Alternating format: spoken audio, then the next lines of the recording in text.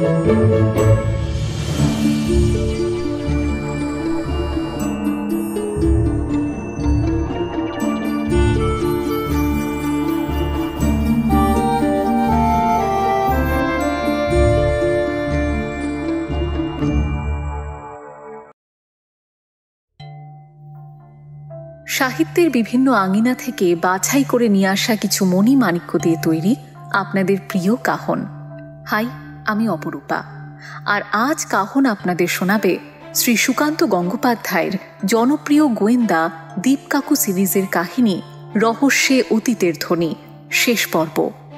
যারা প্রথম পর্ব মিস করে গেছেন, তারা ডেসক্রিপশনের শুরুতে আই বাটনে এবং পিন্ট কমেন্টে প্রথম পর্বের লিংক পেয়ে যাবেন। তবে যারা এত কষ্ট করতে চাইছেন না, তাদের জন্য রইল ছোট্ট করে রিক্যাপ। আর যারা ইন্ট্রো রিক্যাপ সব স্কিপ করে সরাসরি মূল গল্পে চলে যেতে চান, তারা ডেসক্রিপশনের শুরুতে স্কিপ ইন্ট্রো লেখার পাশে টাইম স্ট্যাম্পে ক্লিক করুন। আর সব শেষে যেটা বলার, গল্পটা ভালো লাগলে গল্পতে প্লিজ একটা লাইক করে, কাহনে একটা সাবস্ক্রাইব করে দেবেন কাইন্ডলি এবং অবশ্যই বিধিসম্মত সতর্কীকরণ। সিগারেট খাবেন না প্লিজ ক্যান্সার সহ আরও অনেক রোগের কারণ। তাহলে এখন রিক্যাপ কলকাতার একটি আবাসন আকৃতি প্লাজায় একটি ছেলের মৃতদেহ পাওয়া যায়।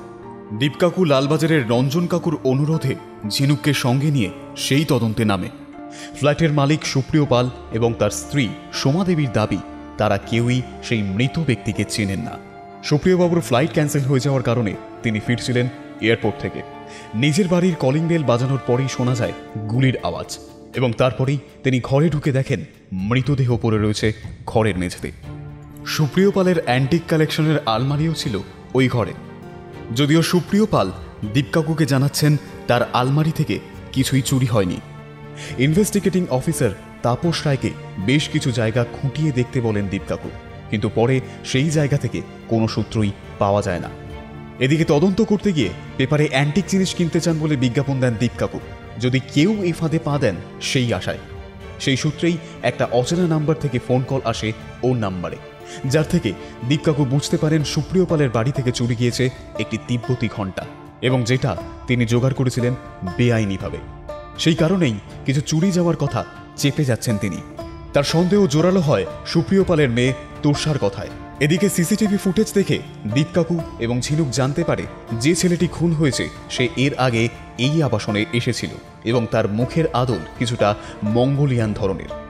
সাধারণত উত্তরবঙ্গ বা উত্তর পূর্ব ভারতের মানুষের মুখে যে আদল পাওয়া যায়। যারা ওই খুনের দিন অকুস্থলে এসেছিলেন, অর্থাৎ আবাসনের আরও কয়েকজন সদস্যকে জিজ্ঞাসাবাদ করে বেরোনোর পরই দীপকাকু তার বাইকের ওপর পান একটি হুমকির চিরকুট। তাতে লেখা, কেসটা খুনের। আপনারও খুন হয়ে যাওয়ার চান্স আছে। সাবধান। তারপর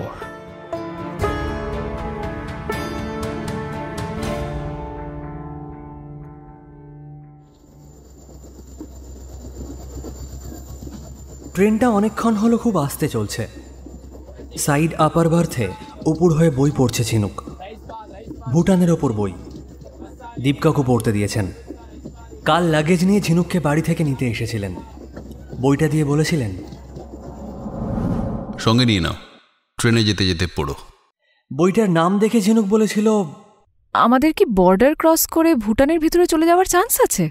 হুম তা হয়তো নেই। তবু একটা দেশের অত কাছাকাছি যখন যাচ্ছ, দেশটার সম্বন্ধে জেনে রাখা ভালো।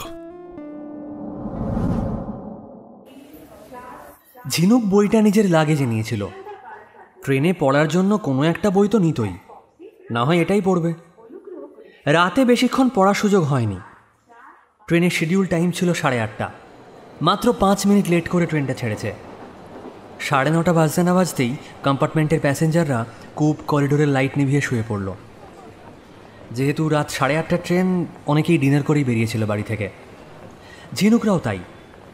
যারা দূর থেকে শিয়ালদায় এসে ধরেছে, তাদের ডিনার করার সময় আলো জ্বালানো ছিল। তারপরেই যে যার সুখে নিদ্রা দিয়েছে। মাথার ওপর রিডিং লাইট জেলে বইটার পাতা ছয়েক পড়েছিল ঝিনুক। কিন্তু নিস্তব্ধ প্রায় অন্ধকার কম্পার্টমেন্টে ট্রেনের দুলুনিতেই যেন কখন ঘুম এসে গেছিল তার। ভুটান সম্বন্ধে এইটুকু পড়েই সে অবাক হয়েছে। যে দেশটাকে এতদিন সে জানত শান্তির প্রতীক হিসেবে। পৃথিবীর সবচেয়ে সুখী দেশ বলে যাকে গণ্য করা হয়, অতীতে সেখানে প্রচুর হানাহানি হয়েছে। গৃহযুদ্ধ লেগেই থাকত। পার্শ্ববর্তী রাজ্য কোচবিহার, আসাম, বাংলার ওপর সুযোগ পেলেই আক্রমণ চালাতো তারা। মোঘল আমল থেকে ইংরেজরা পর্যন্ত যথেষ্ট সমঝে চলত ভুটান রাজাদের। ভুটান নিয়ে ঝিনুকের বরাবরই একটা খটকা ছিল। এমন শান্ত দেশটার জাতীয় পতাকায় মুখ দিয়ে আগুন বেরোনো ড্রাগনের ছবি কেন? বইটা পড়তে পড়তেই উত্তর পেয়ে গেছে সে। ভুটান এখন যুদ্ধবিগ্রহে একেবারেই বিশ্বাস করে না। ট্রেন এনজেপি পৌঁছেছিল সকাল সাতটা নাগাদ। লোকজনের হইচয়ে ঘুম ভেঙে গিয়েছিল ঝিনুকের। প্রচুর প্যাসেঞ্জার নেমে গেল। এরা বেশিরভাগই দার্জিলিং বা গ্যাংটক যাবে। ঝিনুকরা এই ট্রেনেতেই যাবে আরও খানিকটা। নিউ জলপাইগুড়ি ছাড়তেই দীপকাকু নিজের জন্য চা আর ঝিনুকের জন্য কফি কিনেছিলেন হকারের থেকে। কফি খেয়ে ফের বইটাই পড়তে শুরু করেছিল ঝিনুক। পড়ছিল, বৌদ্ধ ধর্ম ভারত থেকে কোন সময় কীভাবে তিব্বতে গিয়েছিল? তিব্বত থেকে এসেছিল ভুটানে। বই পড়ার মাঝে টয়লেটে গিয়ে ফ্রেশ হয়ে এসেছে ঝিনুক। ব্রেকফাস্টও সেরেছে। রেল ক্যান্টিনে সার্ভিস বয়ের থেকেই ব্রেকফাস্ট কিনলেন দীপকাকু। ট্রেনটা বেশ ভালো স্পিডেই চলছিল। নিউ মাল জাংশনের পর থেকে গতি কমতে কমতে এখন গরুর গাড়ির দশা। পড়ায় মন বসছে না ঝিনুকের। ট্রেনের হলোটা কি? ঘন ঘন হুইসেল দিচ্ছে। সাইড আপার থেকে ঝুঁকে ঝিনুক নিচের বার্থের দিকে তাকায়। দীপকাকু খবরের কাগজ পড়ে যাচ্ছেন এক মনে। কখন কিনেছেন খেয়াল করেনি ঝিনুক। গলা খাঁকারি দিয়ে ঝিনুক দীপকাকুর উদ্দেশ্যে বলে উঠল ট্রেনটা এত স্লো চলছে কেন? হাতির জন্য। এই রুটে হামেশাই হাতি কাটা পড়ে ট্রেনের চাকায়। হুইসেলটাও হাতিদের সতর্ক করার কারণে। দীপকাকুর কথায় রীতিমতো এক্সাইটেড হয়ে পড়ল ঝিনুক। সবিস্ময়ে বলে উঠল ও ট্রেন তার মানে জঙ্গলের ভিতর দিয়ে যাচ্ছে? আপার বাড়তে আছি তো তাই কিছুই দেখতে পাচ্ছি না। এবার বাম থেকে নামার উদ্যোগ নিল ঝিনুক। পা দুটো ঝোলাতেই দীপকাকু নিচ থেকে বলে উঠলেন পুলোভারটা গলিয়ে নাও। বাইরের সিনারি দেখতে হলে খোলা দরজায় গিয়ে দেখো। বন্ধ জানালা দিয়ে ভালোভাবে দেখতে পাবে না। কাছে ধুলো জমে গিয়েছে। ঠান্ডা লাগার আশঙ্কাতেই সোয়েটারটা পরতে বললেন দীপকাকু এসি কামরার কারণে উত্তরবঙ্গে শীত সেভাবে মালুমই হচ্ছে না। পুল ওভারটা মাথার কাছেই রেখেছিল রাতে। পরে নিয়ে নেমে এলো ঝিনুক এনজেপির পর নিউ মাল জাংশনেও অনেক প্যাসেঞ্জার নেমেছে। ঝিনুকদের এসি টু টায়ার কামরা একেবারেই ফাঁকা। করিডোর ধরে এগিয়ে যায় ঝিনুক। কামরার ভেতরের দরজা খুলে প্যাসেজে গিয়ে দাঁড়ায়। বাইরের দরজা খুলতেই মনে হলো কে যেন বরফ ছুঁড়ে মারল। কাঁপুনি ধরে গিয়েছে শরীরে। এদিকে সামনের দৃশ্য থেকে চোখ সরাতে পারছে না ঝিনুক। প্রায় রেল লাইনের গা দিয়ে শুরু হয়েছে বিস্তৃত চা বাগান। কচি পাতায় সকালের রোদ পড়ে শুরু হয়েছে অনন্য সুন্দর প্রাকৃতিক গালিচা। আস্তে আস্তে চা বাগান শেষ হয়ে আসছে। শুরু হলো জঙ্গল। বড় বড় নাম না জানা গাছ। ট্রেনের আওয়াজের ফলে এক গাছ থেকে অন্য গাছে উড়ে যাচ্ছে পাখি। জঙ্গল একটু পাতলা হলো। এখন নদী খাত। তীর তীরে জল আর ভর্তি নড়ি পাথর। ঘন জঙ্গল থেকে বেরিয়ে এসেছে নদীটা। দূরে কুয়াশা মাখা পাহাড়। এটাকেই বোধহয় ভুটান পাহাড় বলে। ট্রেনের সঙ্গে সঙ্গে চলেছে জঙ্গল আর নদী। ঝিনুকের মনে হচ্ছে কেসের ব্যাপার এখানে না এসে বেড়াতে এলেই বোধহয় ভালো হতো। ইচ্ছে মতো ঘোরা যেত নানান জায়গায়। কারণ তদন্তের প্রয়োজনে দীপকাকু একটা নির্দিষ্ট রুট মেনেই চলবেন, আর টাইমও থাকবে ধরা বাঁধা। একমাত্র যাত্রাপথের কোনো বিশেষ ঘটনাই দীপকাকুর রুট বদলে দিতে পারে। কেসের কাজে এতটা দূর যে আসতে হবে, একবারও ভাবেনি ছিনুক দ্বিতীয়বার আকৃতি প্লাজা থেকে ফিরে দীপকাকু কোনো যোগাযোগ রাখেননি ঝিনুকের সাথে। সেদিনের ইনভেস্টিগেশনের পর্বটা বাবাকে বলেছে ঝিনুক।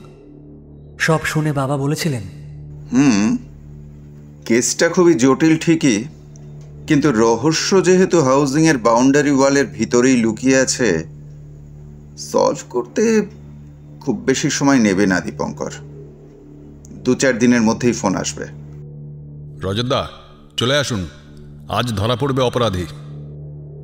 এই কেসটাতে ঝিনুক অবশ্য এতটা আশাবাদী হতে পারেনি। মনে হয়েছে দীপকাকু এখনও তদন্তের প্রাথমিক পর্যায়ে রয়েছেন। ফোনে যোগাযোগ রাখছেন না মানে ডুবে রয়েছেন ভাবনা চিন্তায়। এই সময় ঝিনুক যদি ফোন করে কেসের অগ্রগতির ব্যাপারে জানতে চায় বিরক্ত হবেন দীপকাকু। তাছাড়া ঝিনুক ঠিক কী জিজ্ঞেস করবে? এই কেসে তো প্রশ্নের শেষ নেই।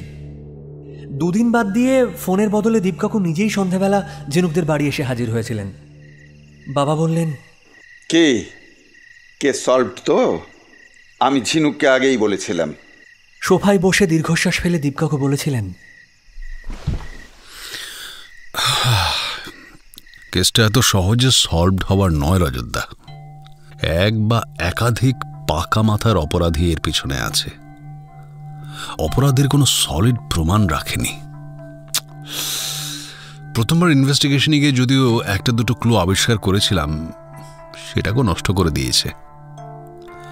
অপরাধ বিজ্ঞান বলছে হাজার চেষ্টা করেও সমস্ত ক্লু নষ্ট করা যায় না। কিছু না কিছু তথ্য প্রমাণ থাকেই। গোয়েন্দার কাজ হচ্ছে সেইগুলো খুঁজে বার করা। এই কেসে আমি দুটো ক্লু খুঁজে পেয়েছি। অপরাধীরাও টের পেয়েছে ব্যাপারটা। তাই আমাকে খুনের হুমকি দেওয়া হয়েছে। কোন দুটো ক্লুর কথা বলছো তুমি? খুন হওয়ার এক সপ্তাহ আগে ছেলেটা হাউজিংয়ে এসেছিল তার প্রমাণ এখন আমার হাতে। রেজিস্টার খাতায় ছেলেটার নাম কেটে দিয়ে অপরাধী ভেবেছিল ভিতরে আসার কোনো প্রমাণ রইল না।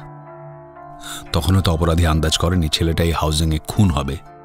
মৃত ছেলেটির সঙ্গে এই হাউজিংয়ের সম্পর্ক খুঁজতে গিয়ে দেখা হতে পারে পুরনো ফুটেজ ব্যাপারটা যদি জানা থাকতো, সিসিটিভি ফুটেজ তখনই নষ্ট করার চেষ্টা করত সে। কেননা দিনের দিন ফুটেজটা ডিস্ট্রয় করা তার পক্ষে সহজ হতো। সিকিউরিটি রুমের কম্পিউটারে ছিল প্রমাণটা। একটা দিন পার হওয়ার সঙ্গে সঙ্গে আগের দিনের ফুটেজ সিডিতে কপি হয়ে সিকিউরিটি এজেন্সির ব্যাংকিংয়ে চলে গিয়েছে। আমি যদিও সিকিউরিটি রুমের কম্পিউটারের মেমোরি থেকে ফুটেজটা দেখেছি কপিও করে নিয়েছি। কিন্তু যেহেতু ঘটনাটা বেশি দিনের নয়, তাই ওখানে পাওয়া গিয়েছে। এক মাসের পুরনো হলে পাওয়া যেত না। হার্ড ডিস্ক ফাঁকা রাখার জন্য ইরেজ করে দিত সিকিউরিটি স্টাফ। তখন আমাদের এজেন্সি থেকে সিডি নিয়ে দেখতে হতো। ছেলেটা খুন হওয়ার পর অপরাধীর মাথায় নিশ্চয়ই এসেছিল ফুটেজের প্রমাণ লোপ করার কথা। কিন্তু ততদিনে অনেকটাই দেরি হয়ে গিয়েছে। প্রমাণ সিডি আকারে চলে গিয়েছে সিকিউরিটি এজেন্সির লকারে। অতদূর হাত পৌঁছবে না অপরাধীর। অযথা সিকিউরিটি রুমের কম্পিউটার থেকে ফুটেজটা ইরেজ করার চেষ্টা করেনি সে। কারণ একটা প্রমাণ লোপের চেষ্টা আরও নতুন কিছু প্রমাণ রেখে যায়। আমার পাওয়া সেকেন্ড ক্লু সম্পর্কে অপরাধী সম্ভবত এখনও কিছু জানে না। ওই ফুটেজটা থেকেই পেয়েছি সূত্রটা ট্যাক্সির নাম্বার আমার দেখার আগে পরে অপরাধী যদি ফুটেজটা দেখেও থাকে, ক্যামেরার জোনে ট্যাক্সির সামনেটুকু ঢুকে আসা সে লক্ষ্য করবে না। তার নজর থাকবে ছেলেটার ওপর। বলছি, এখানে একটা ব্যাপার কিন্তু পরিষ্কার। হাউজিংয়ের সিকিউরিটি রুমে অবাধ যাতায়াত আছে অপরাধীর। নয়তো সে ইচ্ছে করলেই ফুটেজটা দেখতে পারবে কেন? কিন্তু সিকিউরিটি এজেন্সির অফিসে গিয়ে তার পক্ষে সিটিটা নষ্ট করা কঠিন। সেই অথরিটি তার নেই। অফিসটা আকৃতি প্লাজা থেকে অনেকটাই দূরে। কোনো পার্সোনাল রিলেশন তৈরি করে উঠতে পারেনি লোকটা। ঠিক তাই। বলে দীপকাকু চলে গিয়েছিলেন সেকেন্ড ক্লু ধরে কীভাবে এগিয়েছেন তার বর্ণনায়। রঞ্জন কাকুর সাহায্যে এগারোই ডিসেম্বর দুপুরে যে ট্যাক্সির নাম্বার দেখা গিয়েছিল ক্যামেরার জোনে, তার ড্রাইভারের সঙ্গে দেখা করেন। ভিডিও ফুটেজটা তাকে দেখান। ছেলেটা কোথা থেকে উঠেছে জিজ্ঞেস করেন। মনে করতে বেশ বেগ পেতে হয়েছে ড্রাইভারকে। মাঝে অনেকটা দিন চলে গিয়েছে। কত প্যাসেঞ্জার উঠেছে, নেমেছে গাড়ি থেকে। অবশেষে মনে পড়েছিল ড্রাইভারের।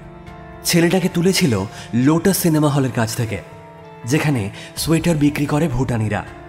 ট্যাক্সি নিয়েই ড্রাইভার দেখা করতে এসেছিল দীপকাকুর সঙ্গে। দীপকাকু ওই গাড়িতে চেপেই স্পটে পৌঁছন। সোয়েটার বিক্রেতাদের ছেলেটার ছবি দেখান। পুলিশের বিজ্ঞাপনে থাকা মৃত মুখের ছবি নয়। ভিডিও ফুটেজ থেকে ছেলেটার জীবন্ত মুহূর্তের কিছু স্টিল ফটো। দীপকাকু প্রিন্ট করেছেন। সেগুলো দেখিয়ে বিক্রেতাদের কাছে জানতে চান ছেলেটিকে চেনে কিনা? চিনতে পারে তারা। ওদের মধ্যে থেকে মাদন লোহার নামের ইয়াং ছেলেটি জানায় দীপকাকু যার ফটো দেখাচ্ছেন। সে ডাবলা গাজী। ডাবলার সঙ্গে তার আলাপ বেশি দিনের নয়। দীপকাকু বলতে থাকেন। শীতের পসরা নিয়ে মদন যখন এবার আলিপুরদুয়ার থেকে ট্রেনে চেপে কলকাতার উদ্দেশ্যে রওনা দিয়েছিল, ডাবলা সেই কম্পার্টমেন্টে উঠেছিল কয়েকটা স্টেশন পরে, দলগাঁও থেকে। ওকে দেখেই বোঝা যাচ্ছিল প্রথমবার বড় শহরে যাচ্ছে। জেনারেল কম্পার্টমেন্টের ভিড়ের মধ্যে ঘাবড়ে যাওয়া ভাব নিয়ে বসেছিল। মদন লোহারি এগিয়ে গিয়ে আলাপ জমায়। জিজ্ঞেস করে কোন শহরে যাচ্ছে সে। শিলিগুড়ি, মালদা না কলকাতায়? ডাবলা বলে, কলকাতা যাচ্ছে। মদনের আন্দাজ মাফিক প্রথমবার। কলকাতার এক বাবু তাকে চাকরি দেবেন বলেছেন। থাকেন কসবায়। সেই জায়গাটা কোথায়? মদনের কাছে জানতে চেয়েছিল ডাবলা। মদন লোহার কলকাতা মোটামুটি চেনে গত ছ বছর ধরে শীতের আগে সোয়েটার বিক্রি করতে আসে এই শহরে। কসবা কীভাবে যেতে হয় বলে দিয়েছিল ডাবলাকে। শিয়ালদা নেমে ডাবলা গিয়েছিল কসবায়, কিন্তু যিনি চাকরি দেবেন তার বাড়ি খুঁজে পায়নি। ফিরে আসে মদনের ডেরায়। ক্রিক্রোতে একটা বাড়ির একতলাটা ভাড়া নিয়ে মদন সমেত দশজন সোয়েটার বিক্রেতা একসঙ্গে থাকে। রাতটা ওখানে কাটায় ডাবলা। পরের দিন যে ফুটপাথে সোয়েটার বিক্রি করে মদন সেখান থেকে একটা ট্যাক্সি ধরিয়ে দেয় ডাবলাকে। যার কাছে যাবে তার ঠিকানা, ফোন নাম্বার লেখা একটা চিরকুট ছিল ডাবলার কাছে। ট্যাক্সি ড্রাইভার ঠিকানা দেখে সঠিক জায়গায় পৌঁছে দিয়েছিল ডাবলাকে। এর ঘণ্টা চারেক পরে ফের মদনের কাছে ফিরে এসেছিল ডাবলা। বলেছিল, ভদ্রলোক দিন দশেক বাদে আসতে বলেছেন, হয়ে যাবে চাকরি। এই কটা দিন সে মদনের কাছেই থাকতে চায়। কিন্তু দশ দিন হোটেলে কাটানোর মতো টাকা তার কাছে নেই। এই কদিনের জন্য দেশে গিয়ে আবার ফেরত আসার কোনো মানে হয় না। সেই জন্য মদন নিজের আস্তানে রেখেছিল ডাবলাকে। ছেলেটিকে ভালো লেগে গিয়েছিল তার। দুজনে যেহেতু প্রায় একই অঞ্চলের মানুষ, সুতরাং একে অপরের অসুবিধায় পাশে দাঁড়ানোই তো উচিত। সাত দিনের মাথায় ডাবলা গাজী হঠাৎ উধাও। আগের দিন পর্যন্ত ফুটপাতে দাঁড়িয়ে মদনের সঙ্গে সোয়েটার বিক্রি করেছে সে। তারপর থেকে ডাবলা গাজীর আর কোনো খবর নেই। দীপকাকু বুঝতেই পেরেছিলেন যে পুলিশের বিজ্ঞাপন এদের চোখে পড়েনি। খবরের কাগজ খুব একটা এরা দেখে না। দীপকাকু মদনকে সেই ভদ্রলোকের ঠিকানাটা মনে করতে বলেন। ডাবলার কাছে থাকা চিরকুটে যে ঠিকানা সে দেখেছিল।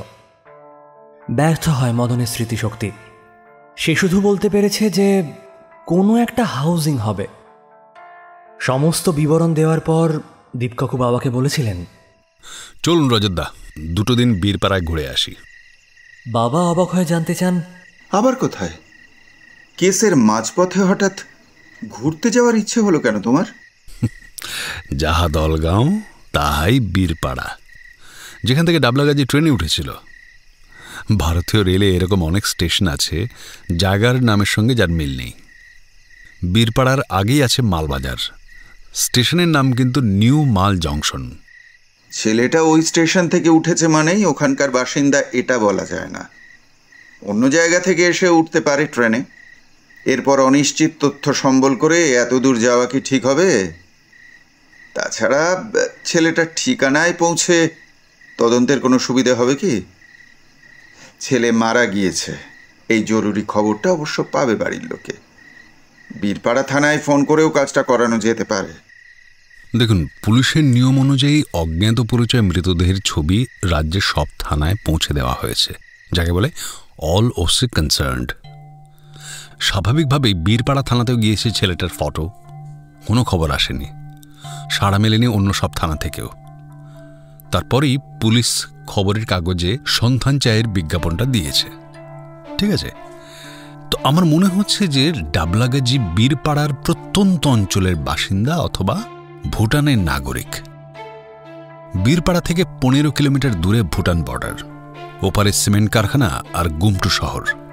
বর্ডারে কোনো বেড়া নেই। দুদেশের মানুষ অবাধে যাতায়াত করে। পুলিশের সঙ্গে ওই এলাকার মানুষের যোগাযোগ বেশ ক্ষীণ। সীমান্তরক্ষীরাই তাদের রক্ষাকর্তা। প্রত্যন্তে থাকা গরিব গ্রামগুলোতে হয়তো খবরের কাগজ পৌঁছবে না। কেনার মতো লোক নেই। যদি পৌঁছতো কাগজ ডাবলাগাজের ছবি দেখে পরিবারের লোক এতদিনে নিশ্চয় যোগাযোগ করত বীরপাড়া থানায়। ছেলেটার বাড়ি ওই অঞ্চলে মনে করার একটা বড় কারণ হচ্ছে গুমটো শহরে একটা বৌদ্ধ মন্দির আছে। যদিও সেটা খুব পুরনো নয়, তবে বৌদ্ধ ধর্মের প্রভাব ওই এলাকায় প্রবল। এই কেসে চুরি গিয়েছে বৌদ্ধ মন্দিরের ঘণ্টা। পদবি দেখে মনে হয় ছেলেটি ভুটান সংলগ্ন এলাকার বাসিন্দা। কলকাতায় আসতে হলে ডাবলাগাজি নিয়ার স্টেশন দলগাঁও থেকে ট্রেন ধরবে। ডাবলার পরিবারের সঙ্গে দেখা করে আমি জানতে পারব হয়তো যে কেন সে কলকাতায় গিয়েছিল। এমনকি প্রথম দিন আকৃতি প্লাজায় গিয়ে এক ঘণ্টা কার সঙ্গে কাটিয়েছে, সেটাও হয়তো জানা যাবে। এগারোই ডিসেম্বরের সিসিটিভি ফুটেজে দেখা গিয়েছে, ছেলেটি আকৃতি প্লাজায় ঢোকার এক ঘণ্টা বাদে বেরোচ্ছে। আমি নিশ্চিত যে ডাবলাগাজের পরিবারের সঙ্গে কথা বললেই এই রহস্যের জট অনেকটাই কেটে যাবে। ডাবলা গাজীর সঙ্গে সুপ্রিয় পালের চেনা জানা হওয়ার চান্স কিন্তু একটা আছে। সুপ্রিয় পালের লাস্ট অফিস ট্যুর ছিল শিলিগুড়িতে, অর্থাৎ উত্তরবঙ্গে। জেরায় তিনি একথাও স্বীকার করেন, ওই ট্যুরে বৌদ্ধ মন্দিরের একটা ঘণ্টার রেপ্লিকা নিয়ে এনেছিলেন বাড়িতে। বলেছিলেন বটে, কিনেছিলেন শিলিগুড়ির হংকং মার্কেট থেকে। মিথ্যেও হতে পারে। হংকং মার্কেটও ডাবলা গাজীর সঙ্গে দেখা হয়ে থাকতে পারে। আবার ডাবলা গাজী হয়তো হংকং মার্কেটে মাল সাপ্লাই দেয় অথবা দোকানদার। সুপ্রিয় পাল ঘণ্টাটা কিনেছিলেন গাজীর থেকেই, জানেন তো? সেক্ষেত্রে কিন্তু ডাবলা গাজী বাড়িতে যতক্ষণ না বলছে, কলকাতায় আমি অমুক লোকের কাছে যাচ্ছি, তার আগে পর্যন্ত তারা কিছুতেই জানতে পারবে না। কাজেই বীরপাড়ায় গিয়ে বিশেষ কোনো তথ্য আমরা পাবো না। তবে একটা ব্যাপার যেমন নিশ্চিত হওয়া গিয়েছে যে সুপ্রিয় পাল উত্তরবঙ্গে এসে বৌদ্ধ মন্দিরের ঘণ্টা সংগ্রহ করেছেন। জিনিসটা অরিজিনাল না রেপ্লিকা সেটা এখনও জানা যায়নি। ঘণ্টাটা যে ভাঙেনি, এ বিষয়েও কিন্তু শিওর হওয়া যেতে পারে। ভাঙার কোনো প্রমাণ সুপ্রিয়বাবুর স্ত্রী বা কন্যার চোখে তো পড়েনি। সুপ্রিয়বাবু বলছেন, ভেঙেছে ওদের অবর্তমানে। টুকরোগুলো ফেলে দিয়েছেন, স্ত্রী কন্যার মন খারাপ হবে বলে। ভেঙে পড়ার মতো মন খারাপ সোমা দেবী তোরসার হতো না। কেননা শোপিস সংগ্রহের নেশাটা তাদের নয় সুপ্রিয় পালের। বাকি দুজনের বড়জোর একটু আফসোস হতো। জিনিসটা সুপ্রিয় পাল হয় সরিয়ে রেখেছেন অথবা চুরি যে হয়েছে জানতে দিতে চান না। ভেঙে যাওয়ার ঘটনাটা উনি বানিয়েছেন। ঝিনুকের বিশ্লেষণে খুশি হয়ে দীপকাকু বলে উঠেছিলেন বা মাথা তো বেশ ভালো কাজ করছে দেখছি। হুম? বাবা গর্বের দৃষ্টিতে মেয়ের মুখের দিকে তাকিয়েছিল। লজ্জা পেয়ে মাথা নামিয়ে নিয়েছিল ঝিনুক। দীপকাকু বলতে শুরু করেছিলেন সুপ্রিয় পাল বীরপাড়ায় এসেছিলেন এমন কোনো তথ্য আমার হাতে নেই। সোমাদেবীর মোবাইলের কল লিস্ট পুলিশকে চেক করতে দিয়েছিলাম একটাই কারণে যেটা দেখে বোঝা যাবে সুপ্রিয় পালের গতিবিধি। যেখানে যান না কেন স্ত্রীর সঙ্গে নিশ্চয়ই যোগাযোগ রাখবেন ট্র্যাক করে আমরা জানতে পারব কলটা কোথা থেকে এসেছে। সেই ইনফরমেশনটা তো সুপ্রিয়বাবুর মোবাইলের কল লিস্ট থেকেও পাওয়া যাবে। কল চেক করার জন্য পুলিশ ওর নাম্বারটা নিয়েছিল। এর পরেও সোমাদেবীর মোবাইলের কল লিস্ট দেখার কি খুব দরকার? বাবা এবং ঝিনুককে অবাক করে দিয়ে দীপকাকু বলেছিলেন আমি সোমাদেবীর কল লিস্ট থেকে বুঝতে চাইছিলাম সুপ্রিয়বাবুর প্রাইভেট কোনো নাম্বার আছে কি না যা তিনি পুলিশের কাছে লুকিয়ে যাচ্ছেন। ওই নাম্বার থেকে কখনো না কখনো স্ত্রীকে নিশ্চয়ই ফোন করেছেন। এরকম বুদ্ধিমত্তার পরিচয় দীপকাকুর থেকে আগেও পেয়েছে ঝিনুকরা। তবু বারে বারেই আশ্চর্য হতে হয়। বিস্ময়ের ঘোর কাটিয়ে বাবা জানতে চেয়েছিলেন। সেরকম কোনো প্রাইভেট নাম্বারের অস্তিত্ব কি সোমাদেবীর কল লিস্ট থেকে পাওয়া গেল? না পাওয়া যায়নি। কল লিস্টটা ইনভেস্টিগেটিং অফিসার তাপস রায়কে অনুরোধ করে মেল মারফত পেয়েছিলেন দীপকাকু।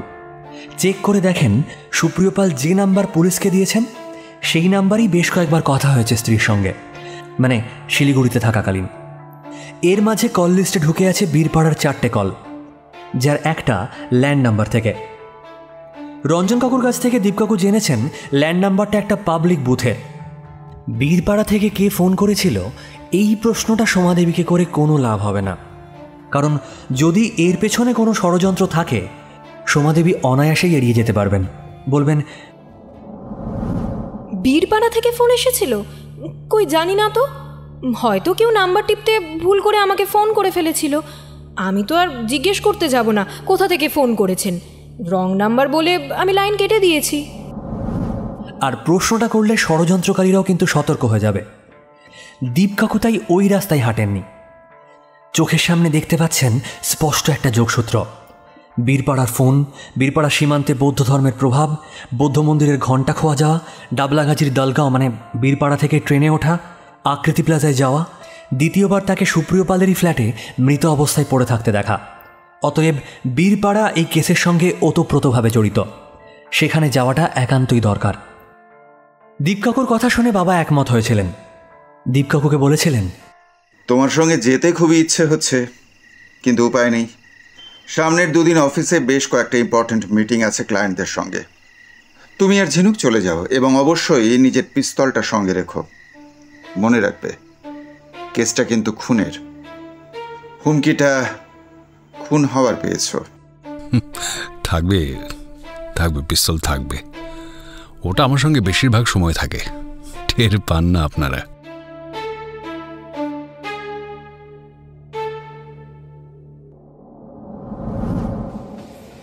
ট্রেনের দরজায় দাঁড়িয়ে বাইরের অপরূপ প্রাকৃতিক দৃশ্য দেখতে দেখতে ঝিনুক ঈশ্বরের কাছে প্রার্থনা করে দীপকাকুকে যেন এই অভিযানে পিস্তল না বের করতে হয়। কোনো ধরনের রক্তপাতের ঘটনা এই ট্যুরের স্মৃতিকে যেন দুঃখজনক ভারবাহী করে না তোলে। জঙ্গল পাতলা হয়ে আসছে। দেখা যাচ্ছে আদিবাসী গ্রাম। সাত পুরনো চাদর গায়ে উঠোনে দাঁড়ানো এক কিশোরী ট্রেনের যাত্রীদের উদ্দেশ্যে হাত নাড়ছে। ঝিনুকও ওকে দেখে হাত নাড়ে। মেয়েটি আলাদা করে ঝিনুককে নির্মল হাসি উপহার দেয়। মিনিট খানেকের মধ্যে দলগাঁওতে ঢুকবে ট্রেন। লাগেজ প্যাক করে নাও। দীপকাকুর গলা শোনা গেল। পেছনে এসে দাঁড়িয়েছেন। ট্রেনের বাইরে এখনও দু একটা পাকা বাড়ি চোখে পড়ছে। ব্যাগ গোছানোর জন্য তাড়াতাড়ি দরজার সামনে থেকে সরে আসে ঝিনুক।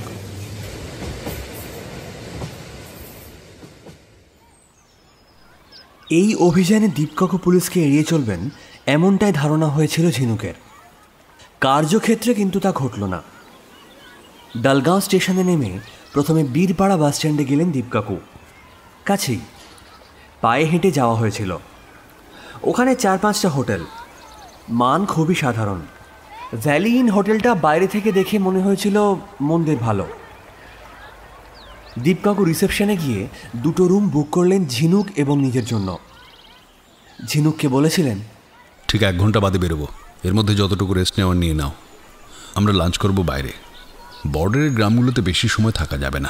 সবই প্রায় জঙ্গলের ভিতরে। সেই জন্য সন্ধ্যের আগেই ফিরে আসতে হবে। রেস্টের টাইম আর একটু বেশি পাওয়া গেলে ভালো হতো। যতই আরামদায়ক কোচে যাত্রা করা হোক ট্রেনের ঝাঁকুনিতে শরীর ক্লান্ত হবেই। এদিকে ঝিনুকদের হাতে সময় খুবই কম। ফেরার টিকিট কালকেই। উপর মহলের কাউকে ধরে ভিআইপি কোটায় রিজার্ভেশন পেয়েছেন দীপকাকু। কাল যদি ট্রেন না ধরা হয়, জেনারেল কম্পার্টমেন্টে বসে বা দাঁড়িয়ে ফিরতে হবে। এক ঘণ্টার মধ্যেই গরম জলে স্নান করে ফ্রেশ হয়ে গিয়েছিল ঝিনুক। এরই মাঝে দীপকাকু সার্ভিস বয়কে দিয়ে কফি পাঠিয়ে দিয়েছিলেন রুমে। হোটেল থেকে বেরোতেই সার সার ভাড়ার গাড়ি। দীপকাকু একটা ছোট এবং নতুন মডেলের গাড়ি ভাড়া করলেন সারা দিনের জন্য। কাঁধে নিয়েছেন ঝোলা ব্যাগ। হয়তো জল বিস্কিট আছে। প্রথমে যাওয়া হলো লোকাল থানায়। ঢোকার মুখে ঝিনুক দীপকাকুকে জিজ্ঞেস করেছিল। হাতে তোর সময় কম। তবু আমরা এখানে কেন? ছেলেটার সম্বন্ধে এরা কতদূর কি খোঁজ খবর করেছে একবার দেখে নেই হয়তো গত দুদিনে কোনো ইনফরমেশন পেয়েছে। সেরকম কংক্রিট কিছু নয় বলে হেডকোয়ার্টারে জানায়নি। চলো দেখি। ওসি সুখদেও কুমারের সাথে কথা হলো দীপকাকুর। নিজের পরিচয় দিয়ে পুলিশের সঙ্গে তিনিও যে এই কেসের তদন্ত করছেন সেটা জানিয়ে জিজ্ঞেস করেছিলেন যে এই ছেলেটার ফটো থানায় এসেছে কিনা। ওসির মুখ দেখে বোঝাই যাচ্ছিল ফটোটা প্রথম দেখছেন। তবুও বললেন এসেছে মনে হচ্ছে। কথাবার্তা সবই হিন্দিতে হলো। ওসি হিন্দিভাষী হাবিলদারকে দিয়ে ফাইল আনালেন সুখদেও কুমার। ফটো পাওয়া গেল। কম্পিউটার প্রিন্ট আউট মেল করে পাঠানো হয়েছে। ওসি বললেন এর সম্বন্ধে কোনো ইনফরমেশন আমাদের কাছে নেই। এই ধরনের ফটো এলে আপনারা কি পদ্ধতিতে খোঁজ খবর করেন? ওসি জানালেন তারা প্রথমে নিজেদের থানার ক্রাইম রেকর্ড দেখে নেন। অপরাধী হিসেবে ছেলেটার নাম এবং ছবি নথিভুক্ত আছে কিনা সেটা দেখেন। তারপর থানার সোর্সদের মধ্যেই দেখান ফটোটা। সোর্সরা থাকে জনগণের মধ্যেই। নানান তথ্য এনে দেয় পুলিশকে। বিনিময়ে টাকা পায়। কোনো সোর্সই এই ফটো দেখে এখনও পর্যন্ত কোনো খবর দিতে পারেনি। এটা বলার পর সুখদেব কুমার একটা ন্যায্য প্রশ্ন তুলেছিলেন। এই ছেলেটার খোঁজ আপনি এই থানাতে নিতে এলেন কেন? আপনার কাছে কি কোনো বিশেষ ইনফরমেশন আছে? পাশ কাটানো উত্তর দিয়েছিলেন দীপকাকু না আসলে ওই ছেলেটার চেহারা দেখে মনে হচ্ছে এই এলাকার।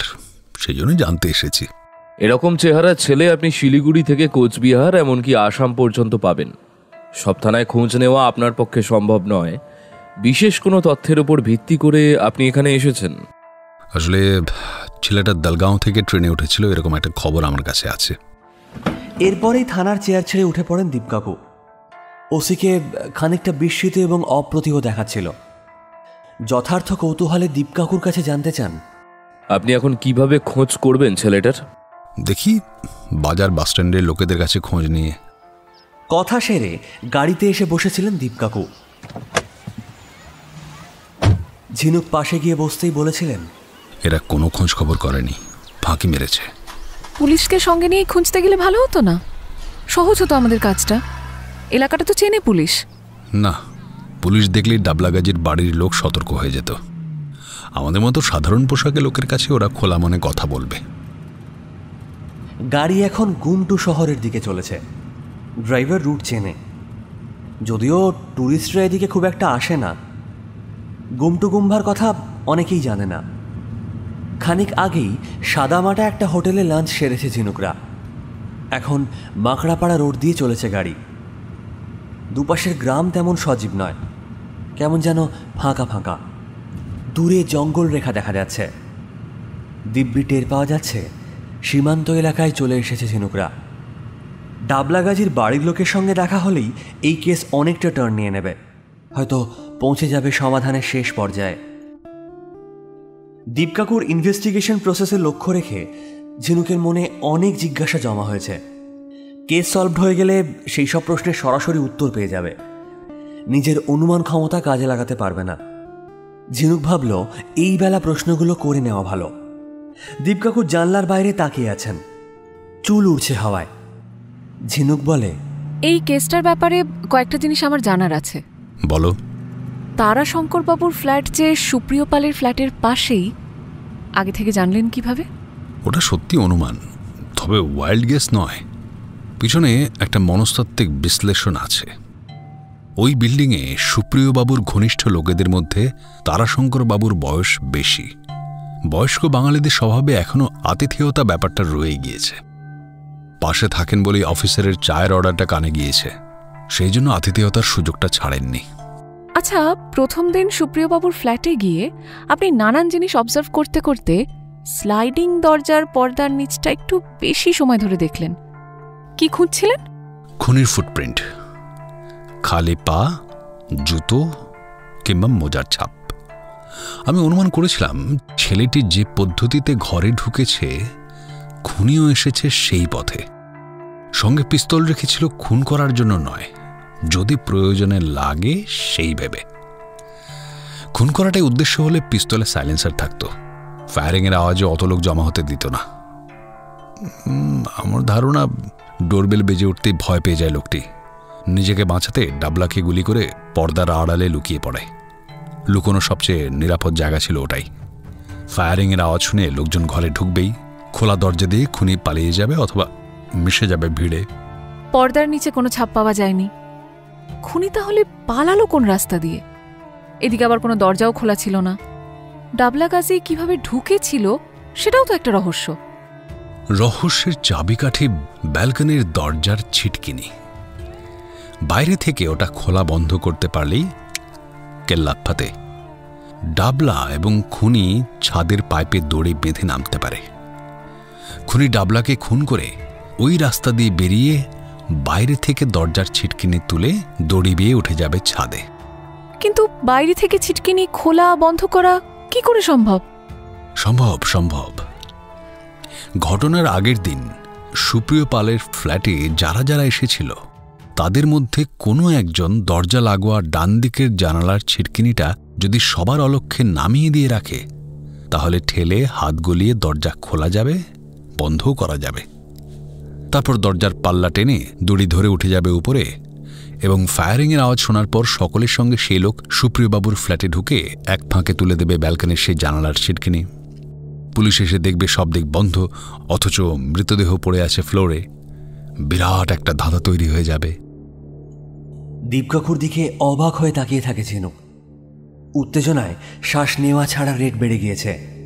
বলে ওঠে খুনি তার মানে ঘটনার আগের দিন সুপ্রিয়বাবুর ফ্ল্যাটে যারা এসেছিল তাদের মধ্যে কেউ? সরাসরি খুনি না হয়েও সাহায্যকারীও তো হতে পারে। এবং সেটা শুধু একজন নয় দুজন হওয়ারও সম্ভাবনা আছে। কীরকম? যে আটজন ঘটনার আগের দিন ফ্ল্যাটে এসেছিল কাজের মহিলা ড্রয়িং স্যার সোমাদেবীর ভাই। রান্না শিখতে আসা গুজরাটি মহিলা অমৃতা যেহেতু ওই বিল্ডিংয়ে থাকে, সেজন্য গুলির শব্দ শুনে উপরের ফ্ল্যাটে গিয়েছিল ধরে নিচ্ছি। যদিও এখন অবধি তার কোনো প্রমাণ পায়নি।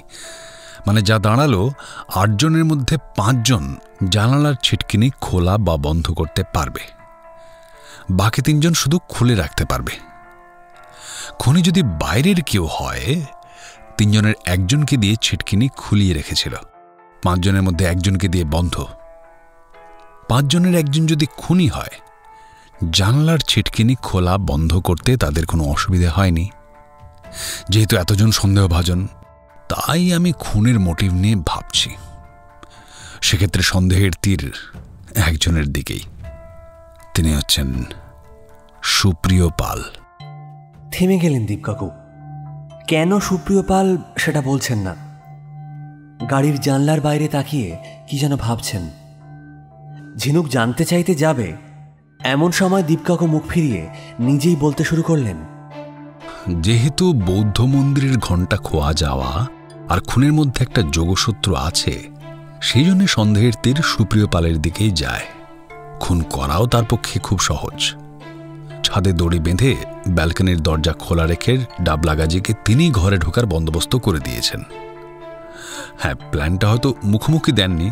কারোর দ্বারা বা ফোনে গলা পাল্টে। কেননা, মালিক নিজের ফ্ল্যাটে ঢোকার রাস্তা নিজেই দেখিয়ে দিলে, যে লুকিয়ে ঢুকছে, বুঝে যাবে এটা ফাঁদ। ডাবলাকে ঢুকিয়ে নেওয়ার পর, সুপ্রিয় পাল নিজের কাছে থাকা ডুপ্লিকেট চাবি দিয়ে দরজা খুলেছিলেন। ডাবলাকে গুলি করে দরজার বাইরে যান, তারপর ডোরবেল টেপেন। সেই জন্যই আমি সমাদেবীকে মনে করতে বলেছিলাম যে উনি আগে গুলির শব্দ শুনেছেন না ডোরবেলের। উনি বলছেন, ডোরবেল, যদি মিথ্যেও বলেন, তবু সুপ্রিয় পালকে খুনি হিসেবে ভাবতে গিয়ে বেশ খটকা লাগছে। এখন যে খুনের পদ্ধতিটা বললাম, এটা কিন্তু ঠান্ডা মাথার খুন। এরপর কেন সুপ্রিয় পাল দরজা জানালার ছিটকিনি তুলে নিজের ঝামেলা বাড়াবেন? ব্যালকনির রাস্তা খোলা থাকা মানে তো খুনি ডাবলা দুজনে ব্যবহার করেছে ওই পথ। তাতে সুপ্রিয় পাল পুরোপুরি সন্দেহের বাইরে থেকে যেতেন। এখন যদি সুপ্রিয় পালের কোনো শত্রু যে পুলিশ আসার আগে ঢুকেছিল ফ্ল্যাটে, সে দরজা জানালার ছিটকিনি তুলে দিতে পারে। সেক্ষেত্রে সুপ্রিয়বাবু প্যাঁচে পড়ে যাবেন। সেরকম যদি কেউ থেকেও থাকে, তাহলে বলতে হবে গোটা ঘটনার উপর নজর ছিল তার। এবং সে যথেষ্ট বুদ্ধিমান। তার মানে এই অপরাধের পিছনে অন্তত দুজনের যোগসাজশ আছেই। সেই কারণেই আপনি আটজনের মোবাইল নাম্বার নিয়েছেন। চেক করেছেন কল লিস্ট। ঘটনার আগে পরে কে কাকে ফোন করেছে দেখেছেন। আপনি মঙ্গলাদির ফোন নাম্বার নিতেও ছাড়েননি। কারণ তাকে দিয়ে জানালার ছিটকিনি খুলিয়ে রাখা যায়, ছাদের পাইপে দড়ির দাগ মোছানো যায়। মঙ্গলাদির টাকার প্রয়োজন কতটা জানার জন্যই মেয়ের বিয়ের চেষ্টা চলছে কিনা জিজ্ঞেস করেছিলেন তাই না? বাহ তুমি তো দেখছি খুব মন দিয়ে অবজার্ভ করেছ আমার ইনভেস্টিগেশন ভেরি গুড হবে মনে হচ্ছে তোমার হবে। কমপ্লিমেন্ট গায়ে মাখল না ঝিনুক। তার আরও জানার আছে। জিজ্ঞেস করল। কল লিস্ট থেকে কিছু পেলেন? না সোমাদেবীর ফোনে ওই যা দুটো বীরপাড়ার কল। তাও ঘটনার অনেক আগে। আচ্ছা ব্যালকনির পর্দায় যেসব মাথার চুল পাওয়া গিয়েছে ওই আট নজনের সঙ্গে সেগুলো ম্যাচ করালে হয় না? ওর মধ্যে এমন কারোর চুল পাওয়া যেতেই পারে যার ওই পর্দার তলা দিয়ে যাওয়ার কথা নয়। তাকে খুনি হিসেবে সন্দেহভাজনের তালিকায় প্রথমে রাখা যেতেই পারে? না না খুনি ওই পর্দার তলা দিয়ে গিয়েছে মানেই তার চুল ওখানে লেগে থাকবে। এটা কিন্তু নিশ্চিত করে বলা যায় না। পুলিশকে দিয়ে আট জনের সঙ্গে পর্দায় লেগে থাকা চুল ম্যাচ করাতে গিয়ে যদি সন্দেহ করার মতো কাউকে না পাওয়া যায়, আবার কিন্তু অপ্রস্তুত অবস্থায় পড়ব আমি। আগে যেমন ফরেন্সিক টেস্টগুলো করতে গিয়ে ফার্স্ট পজিশনে পড়েছিলাম। তাছাড়া, খুনি যদি বাইরের কেউ হয়, তাহলে আটজনের সঙ্গে চুল ম্যাচ করবে না। তাই আমি ঠিক করেছি আগে খুনিকে ধরে পরেই চুল ম্যাচ করাবো। যদি মিলে যায় তার বিরুদ্ধে প্রমাণ জোরালো হবে। দীপ কাকুর বলা শেষ হতেই ড্রাইভার বিনোদ তামাং সামনে আঙুল তুলে দেখাল। সবজি ওই দেখুন কালী মন্দির ওটাই বোটার ও উপারে গেলেই ভুটান। খানিক আগেই একটা চেকপোস্ট পেরিয়ে এসেছে ঝিনুকরা। রাস্তার দুপাশে বিএসএফ এর কাঠের ঘর। চলতি কথায় যাকে বলে চৌকি। চেকপোস্টের বাঁশের গেটটা পর্যন্ত ফেলা নেই। বর্ডার এতই অবাধ। তামাং শুধু গাড়িটা একটু স্লো করেছিল জায়গাটা পার হওয়ার সময়। তারপরেই শুরু হয়েছে চড়াই। কালী মন্দিরের সামনে গাড়ি পৌঁছতেই দীপকাকু থামাতে বললেন গাড়ি স্টার্ট বন্ধ করল বিনোদ তামাং। বলল সবজি সবজি গুমটো গুম্ফা এখান থেকে হাফ কিলোমিটার সবজি ঠিক আছে। এখানে একবার নামি। বলে সাইড ব্যাগ কাঁধে নিয়ে গাড়ি থেকে নামলেন দীপ কাকু। তারপর ঝিনুক। সমতল থেকে জায়গাটা অনেকটাই উঁচু। লাল রঙের কালী মন্দির আরও উঁচুতে। ওপরে ওঠার জন্য চওড়া বাঁধানো সিঁড়ি। আশেপাশে লোকজন চোখে পড়ছে না। মন্দিরের সিঁড়ি থেকে একটু দূরে ছিটে বেড়ার চা দোকান। জিনিসপত্র তেমন কিছু নেই। বৃদ্ধ দোকানিকে দেখা যাচ্ছে, উনুনে কিছু বসিয়েছে। লোকটার মুখ চোখে মঙ্গলিয়ান আদল। দীপকাকু এগিয়ে যাচ্ছেন দোকানটা লক্ষ্য করে। দোকানের পেছনে বাড়িঘর, গাছপালা, কিচ্ছু নেই। মনে হচ্ছে ওর পরেই খাদ দূরে পাহাড় শ্রেণির মাথায় সাদা মেঘ। দোকানের এক পাশে বাঁশের বেঞ্চে গিয়ে বসলেন দীপকাকু। দোকানিকে দুটো চা দিতে বললেন। ঝিনুকও বসল বেঞ্চে। ড্রাইভার তামাংও এসেছে। সে দাঁড়িয়ে থাকল। মোবাইলে টাইম দেখাচ্ছে দুটো দশ। ফোনের টাওয়ারও আছে। দীপকাকু সাইড ব্যাগ থেকে এক গাদা ফটো বার করলেন। ভালো করে নজর করে ঝিনুক দেখল। আট সন্দেহভাজনের এবং ডাবলা গাজির জীবন্ত অবস্থার ফটো। দোকানি কাঁচের গ্লাসে চা নিয়ে এলো। দীপকাকু একটা গ্লাস নিলেন। ঝিনুককে দ্বিতীয় গ্লাসটা এগিয়ে দিতে যাচ্ছিল দোকানি। ইশারায় ঝিনুক ড্রাইভারকে দেখিয়ে দিল সে খাবে না জেনেই দীপকাকু দুটো চায়ের অর্ডার করেছিলেন দোকানি ফিরে যাচ্ছিল দীপকাকু ডাকলেন এধারে শোনো দোকানি এগিয়ে এলো ডাবলা গাজির ছবিটা দেখিয়ে দীপকাকু জিজ্ঞেস করলেন इसको पहचानते हो अरे हाँ ये तो डबला है अरे कलकत्ता में नौकरी ढूंढने गया था आ, लेकिन एक्सीडेंट पे मर गया आ, धक्का मारा एक गाड़ी ने ঝিনুক এতটাই অবাক হয়েছে যে বেঞ্চ থেকে লাফিয়ে নেমে পড়ল এত দূর উজিয়ে যে দুঃসংবাদ তারা দিতে এসেছে সেটা অলরেডি এখানে পৌঁছে গিয়েছে তবে একটু মোড়কে ঢেকে খুনের বদলে অ্যাক্সিডেন্ট कब हुआ एक्सीडेंट किसने खबर भेजा पुलिस उतना तो मालूम नहीं साहब आ, डबला का भाई डंबर का पास आ, फोन आया था परसों आ, उसे दिन अपने माँ को लेकर वो कलकत्ता चला गया अच्छा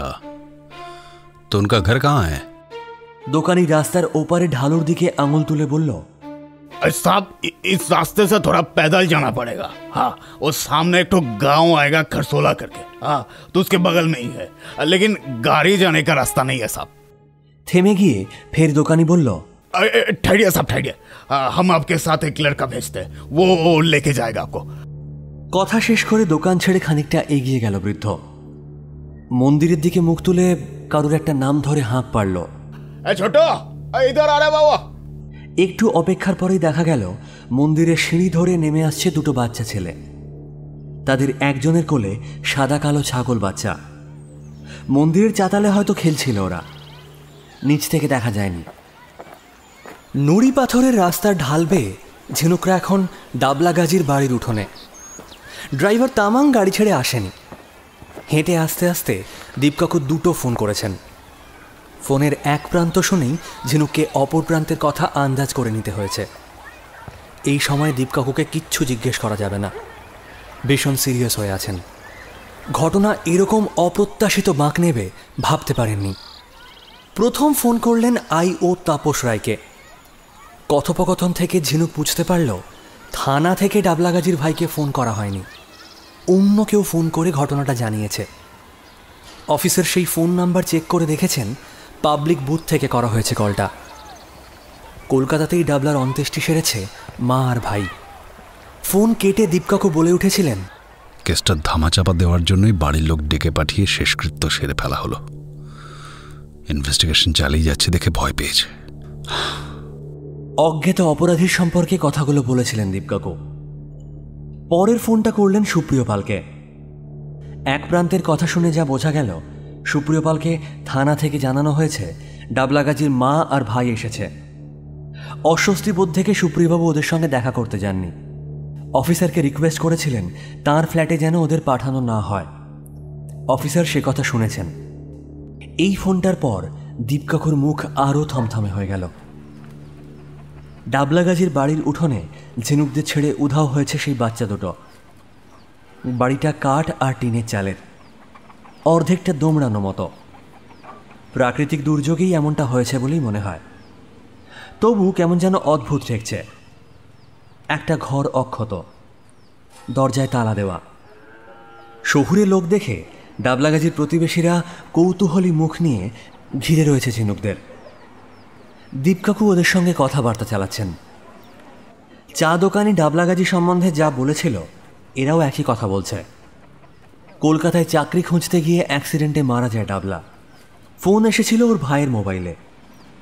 দীপকাকু এবার সাইড ব্যাগ থেকে আট সন্দেহভাজনের ফটো বের করে ওদের দেখালেন। জিজ্ঞেস করলেন আচ্ছা দেখিয়ে তো। এনমেসে কই আয়া থা ইহা পে কবি এক চান্সে সুপ্রিয় পালের ফটো শনাক্ত করল সকলে। বলল বেশ কিছুদিন আগে ইনি এক রাত ডাবলার বাড়িতে কাটিয়েছেন।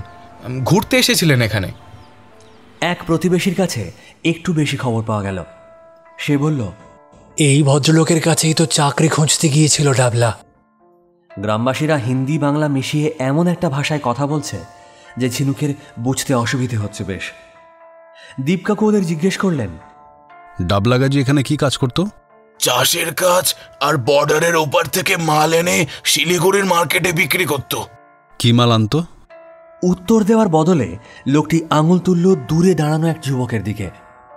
বলল ওই তো নারায়ণ ডাবলার বন্ধু।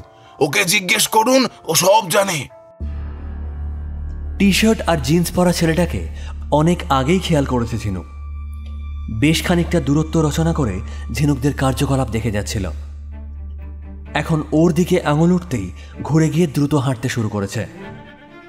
দীপকাকু ঝিনুকের দিকে তাকালেন। চোখের ভাষা পড়ে নিয়ে ঝিনুক দৌড়ে গিয়ে ছেলেটার মুখোমুখি দাঁড়াল। দুপাশে দু হাত ছড়িয়ে বলল ওর কাছে পিস্তল আছে। পালানোর চেষ্টা করো না পায়ে গুলি করবে কিন্তু। দীপকাকু এগিয়ে এসেছেন। ছেলেটার কাঁধে হাত রেখে বললেন পুরো নাম কি? নারায়ণ খাখা। চলো নারায়ণ, তোমার সঙ্গে একটু গল্প করা যাক। চলো।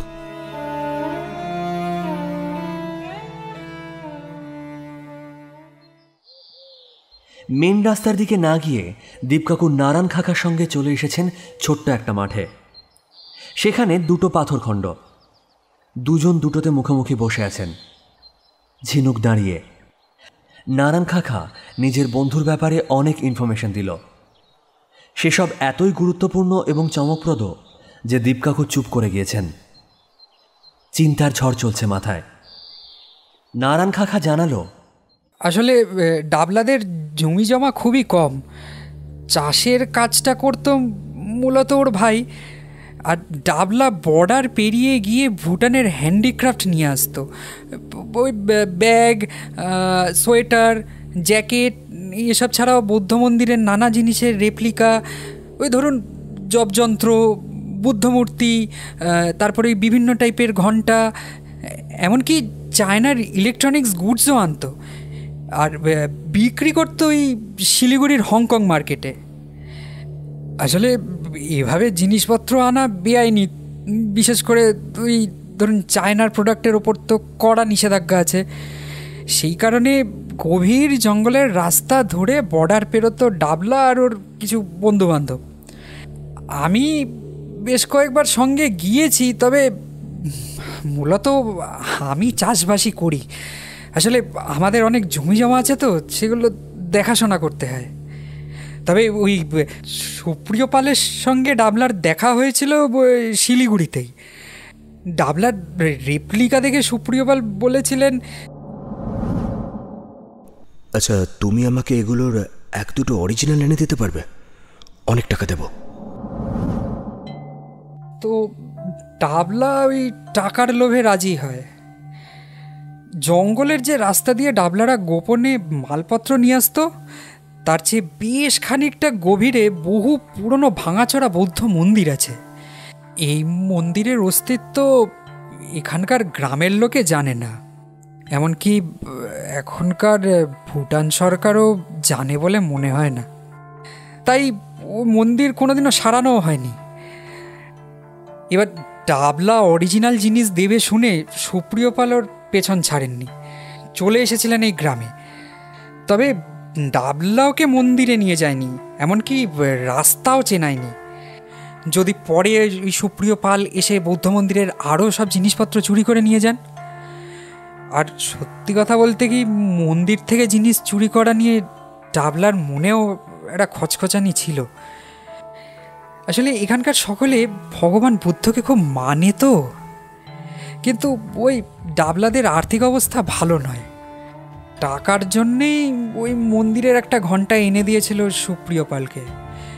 আর উনি চলে যাওয়ার পরই ডাবলাদের পরিবারে ভয়ঙ্কর বিপদ নেমে এলো। ডাবলাদের জমির সমস্ত ফসল নষ্ট করল হাতির পাল। অন্যদেরও করেছে তবে ডাবলাদের মতো পুরোটা নয়। এমনকি ডাবলাদের বাড়িও ভেঙে দিয়ে গেল। এই অংশে এসে ঝিনুক বুঝতে পারল বাড়িটা কেন তার ওরকম অদ্ভুত রকমের দোমড়ানো লেগেছিল। হাতিতে ভেঙে দিয়ে যাওয়া বাড়ি তো সে আগে কখনো দেখেনি। নারায়ণ বলে যাচ্ছিল একদিন হংকং মার্কেটে মালপত্র বিক্রি করে ট্রেনে ফেরার পথে ডাবলার সব টাকা লুট করল টাকার দল খুব ভেঙে পড়েছিল ডাবলা। ও মনে মনে ধরেই নিল যে ওই মন্দিরের ঘণ্টা চুরি করার সাজা দিচ্ছেন ভগবান। সব কথাই ও আলোচনা করতো আমার সাথে। তো ঠিক করল কলকাতায় গিয়ে ঘণ্টা ফেরত এনে মন্দিরে রেখে দেবে। কলকাতার বাবুর দেওয়া টাকা ততদিনে শেষ। মহাজনের কাছে টাকা ধার করল কলকাতার বাবুকে দেওয়ার জন্য। কলকাতাও গেল? জানতো না শেষ সাজা ভগবান এখানেই বরাদ্দ করে রেখেছেন। অ্যাক্সিডেন্টে অ্যাক্সিডেন্টে মারা গেল টাপলা। কথা শেষের দিকে গলা কেঁপে গিয়েছিল নারায়ণ খাখার। কঠিন হৃদয় পাহাড়ি ছেলের চোখ ভরে উঠেছিল জলে। ডাবলা গাজী অন্যায় কাজ করলেও ওর এরকম করুণ পরিণতি শুনে মন ভার হয়ে গিয়েছিল ঝিনুকের। নারায়ণকে ধাতস্থ হতে দিয়েছেন দীপকাকু। এতক্ষণে বলে উঠলেন তুমি আমাদের মন্দিরটা নিয়ে যাবে? চমকে মুখ তুলল নারায়ণ খাখা চোখে অনিচ্ছা আর অবাক ভাব। না না না চিন্তা নেই। মন্দির থেকে কিছু চুরি করব না আমরা। আর একটা ব্যাপার শুনে রাখো। তোমার বন্ধু গাড়ি অ্যাক্সিডেন্টে মারা যায়নি। তাকে খুন করা হয়েছে। কেসটার ইনভেস্টিগেশনে এসেছি আমি। মন্দিরের ব্যাপারটা যদি তোমার বানানো হয়, আমার তদন্ত ভুল পথে চলে যাবে। সেই কারণেই একবার নিজের চোখে দেখতে চাই মন্দিরটাকে। ডাবলা খুন হয়েছে। গলায় অবিশ্বাস ঝরে পড়ল নারায়ণের। দীপকাকু সাইড ব্যাগ থেকে ভাঁজ করা খবরের কাগজ বার করলেন।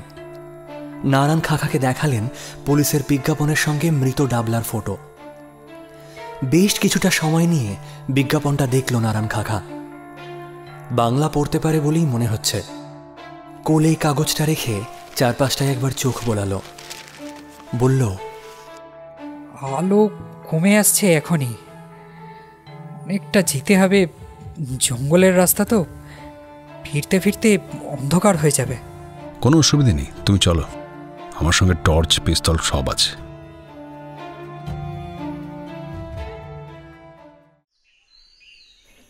জঙ্গল এত ঘন, বাইরের আলো প্রায় পৌঁছচ্ছে না।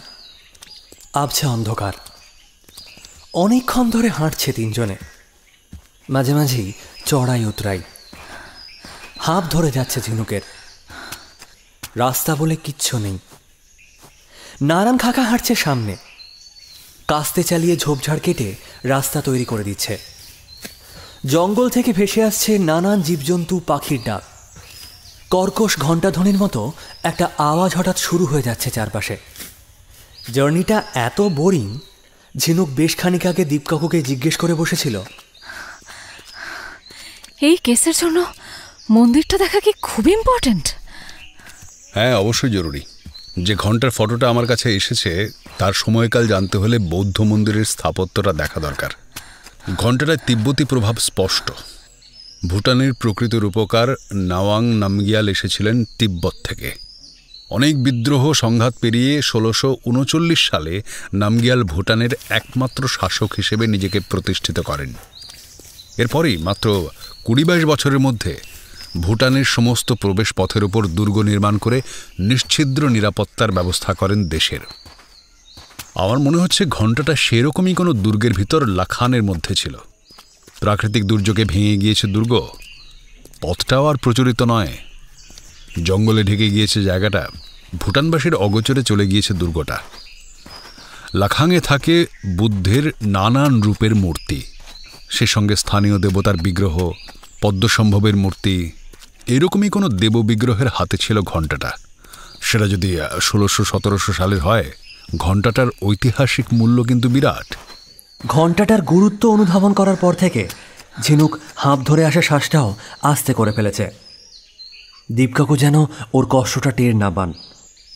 জঙ্গলে অনেকক্ষণ হলো মোবাইলে টাওয়ার নেই। এমনটা হবে আন্দাজ করেই দীপকাকু যাত্রা শুরুতেই নারায়ণকে বলেছিলেন ডাবলা নিশ্চয়ই মোবাইল ছিল? নাম্বারটা দাও তো। এক সেকেন্ড হ্যাঁ এ- এই নিন এই এই এই নাম্বারটা। নাম্বারটা নিয়ে কল করেছিলেন দীপকাকু। নাম্বার ডাজ নট এক্সিস্ট বলছে। ঝিনুকের উদ্দেশ্যে দীপকাকু বলেছিলেন, দেখছিলাম কেউ কলটা ধরে কিনা। ডাবলার মৃত্যুর পর যে ওর মোবাইল সরিয়েছে, সেটটা থেকে ভাইয়ের নাম্বার নিয়ে ফোন করেছিল এখানে। সুপ্রিপাল মোবাইল সরালেও ভাইয়ের নাম্বার সেই সেট থেকে নেওয়ার দরকার পড়বে না। নিজেই এসেছিলেন এই গ্রামে। ডাবলার নাম্বারের কল লিস্ট চেক করতে হবে। দেখতে হবে কলকাতায় কার কার সঙ্গে কথা হয়েছে ওর। তাদের মধ্যে লুকিয়ে আছে খুনি। চলো। জঙ্গলের ঘনত্ব কমে এসেছে। সন্ধে নেমে গিয়েছে পুরোপুরি। একটা চড়াইতে উঠে নারায়ণ খাখা আঙুল দেখিয়ে বলে ওঠে ওই ও ওই দেখুন। একটু দূরেই সিলুয়েটে মন্দিরের ধ্বংসাবশেষ। পেছনের আকাশ দেখে বোঝা যাচ্ছে সূর্য ডুবছে ওই দিকেই হ্যারিকেনের তেল শেষ হয়ে যাওয়ার মতো আলো। মন্দির মাঝে রেখে অনেকটা চত্বর জুড়ে ভাঙা পাঁচিল। দীপকাকুর আন্দাজ মনে হচ্ছে সঠিক। ষোলোশো সতেরোশো সালের কোনো দুর্গের খণ্ডাংশ। উত্তেজনায় জোরে পা চালিয়েছেন দীপকাকু। ঢালু বেয়ে নেমে ঝিনুকরা আবার জঙ্গলে প্রবেশ করল। কিছু দূর যাওয়ার পরেই পাখির ডানার মতো দু হাতে হাত তুলে দাঁড়িয়ে পড়ল নারায়ণ। ঝিনুকদের এগোতে বারণ করছে। কিছু একটা দেখেছে। চাপা গলায় বলে ওঠে, ওই ও, ওই দেখুন। সামনের দিকে তাকিয়ে ঝিনুকের প্রথমে মনে হয় বেশ কিছু চলমান পাহাড়। মুহূর্তে ভ্রম কাটে। ফির তিরিশ দূরেই হাতির দল। এত বিশাল লাগছে কেন? হাঁটা চলা যেন রাজার মতো। চিড়িয়াখানা সার্কাসের হাতির সঙ্গে এদের তুলনায় চলে না। অজান্তেই ঝিনুকের হার্টবিট বেড়ে গিয়েছে। নারায়ণ বলল, আর আর এগোনো ঠিক হবে না। তাড়া করলে এদের সঙ্গে এঁটে উঠতে পারব না আমরা। হ্যাঁ ফিরেই যেতে হবে। একবার যখন দাঁড়িয়ে পড়ে পায়চারি শুরু করেছে এখান থেকে কখন যাবে কোনো ঠিক নেই। দু তিন দিনও থেকে যেতে পারে। হঠাৎ একটা হাতি সুর তুলে ডেকে উঠল। ধরফর করে ওঠে ঝিনুকের বুক। হাতির ডাককে বলে বৃংহন ছড়িয়ে পড়ল দূর দূরান্তে।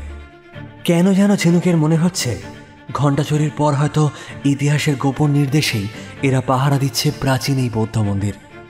মানুষ আর এদিকে আসার সাহস পাবে না।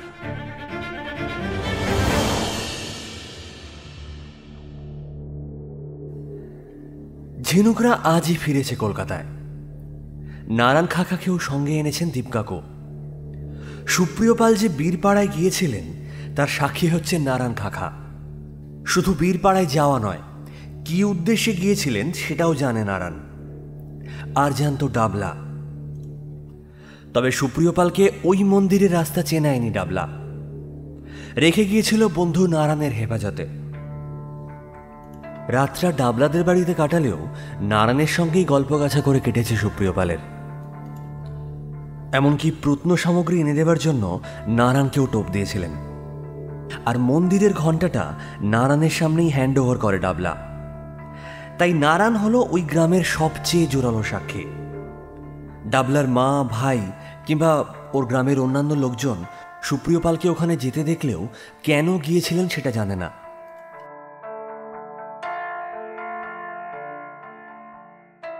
সকাল দশটা নাগাদ ঝিনুকদের ট্রেন পৌঁছেছিল শিয়ালদায়। ট্যাক্সি নেওয়া হলো। ঝিনুক নেমে গিয়েছিল টালিগঞ্জে, তাদের চণ্ডীঘোষ রোডের বাড়িতে। নারায়ণ খাখাকে নিয়ে দীপকাকু চলে গিয়েছিলেন। বলে গিয়েছিলেন সন্ধ্যে সাড়ে ছটায় আসব। তিনজনে মিলে যাব সুপ্রিয় পালের ফ্ল্যাটে। ঠিক আছে? এখন সেখানেই যাচ্ছে ঝিনুকরা। ট্যাক্সিতে যাওয়ার কথা ভেবেছিলেন দীপকাকু। যাওয়া হচ্ছে বাবার গাড়িতে। বাবারও খুব যাওয়ার ইচ্ছে ছিল। দীপকাকু রাজি হননি। দুপুরে বাড়ি ফিরে বাবাকে বীরপাড়ার সমস্ত ঘটনা বলেছিল ঝিনুক। বিপুল উৎসাহে বাবা বলেছিলেন আমিও তোদের সঙ্গে যাব। আধ ঘণ্টা আগেই বাইকে করে নারায়ণ খাখাকে নিয়ে ঝিনুকদের বাড়ি এসেছিলেন দীপকাকু বাইকে তিনজন অ্যালাউড নয় বলেই ট্যাক্সিতে যাবেন বলে ঠিক করেছিলেন। বাবা আকৃতি প্লাজায় যাওয়ার ইচ্ছে প্রকাশ করে বলেছিলেন চল আমার গাড়িতেই যাই। আপনার গাড়ি নিতে পারি কিন্তু আপনাকে নেওয়া যাবে না। আমরা তিনজনে গিয়ে জেরায় জেরবার করে দেব সুপ্রিয় পালকে। বুঝিয়ে দেব ওর স্বরূপ আমরা অনেকটাই জেনে গিয়েছি। এই তিনজনের বাইরে আর কেউ থাকলেই উনি জবানবন্দি দিতে অস্বস্তি বোধ করবেন, কাটছাঁট করবেন তথ্য। সেই কারণে আমি অলরেডি ওকে ফোন করে বলে দিয়েছি যে আমি সন্ধ্যে সাতটা নাগাদ যাচ্ছি। স্ত্রী এবং মেয়েকে কোনো অজুহাতে ফ্ল্যাটের বাইরে পাঠিয়ে দেবেন। আমার সঙ্গে প্রাইভেট কিছু কথা আছে। অগত্যা বাবার যাওয়া হলো না। গাড়ি চালাচ্ছে ড্রাইভার আশুদা, পাশে নারায়ণ খাকা দীপকাকুর পরামর্শে আজ সকাল থেকে আকৃতি প্লাজায় পাঁচ সন্দেহভাজন এবং সুপ্রিয় পালের ফ্ল্যাটে তল্লাশি চালায় পুলিশ। সুপ্রিয় পালের ফ্ল্যাট এই নিয়ে তিনবার সার্চ করা হলো। বাইরের তিন সন্দেহভাজনের বাড়িও তল্লাশি চালানো হয়েছে। দীপকাকু বীরপাড়া থেকেই ইমেল করে নজনের তালিকা পাঠিয়ে আই ও তাপস রায়কে সার্চের কথা বলেছিলেন। নিজের তদন্তের গতি প্রকৃতি জানিয়ে পাঠিয়েছিলেন বৌদ্ধ মন্দিরের ঘণ্টাটার ফটো। আশা প্রকাশ করেছিলেন যে এই তল্লাশির মাধ্যমে এই ঘণ্টা এবং যে পিস্তল দিয়ে ডাবলাকে খুন করা হয়েছে, সেটা পাওয়া যাবে।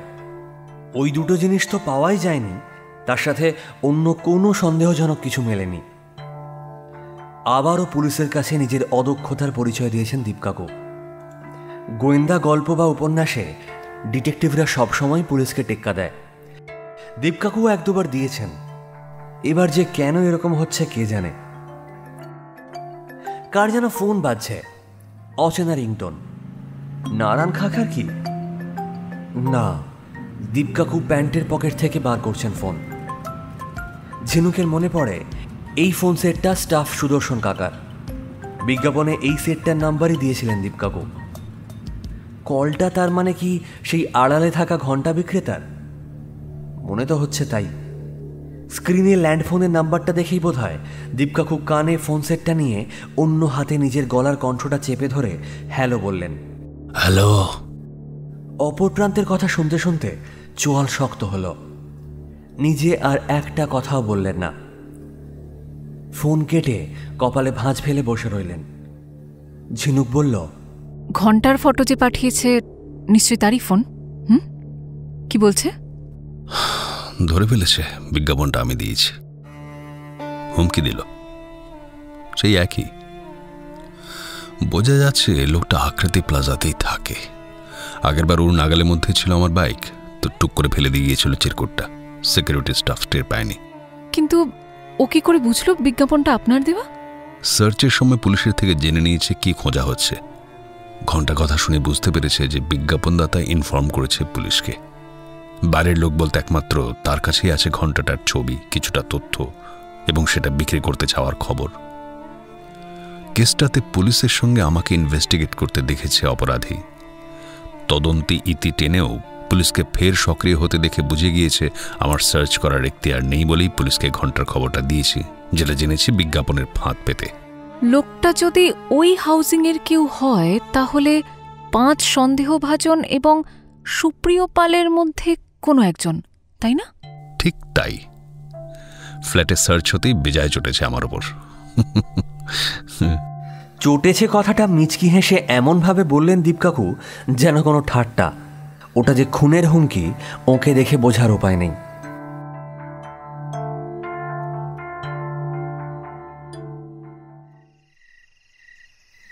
কিছুক্ষণ হলো ঝিনুকরা তিনজন সুপ্রিয়পালের ফ্ল্যাটে এসে পৌঁছেছে।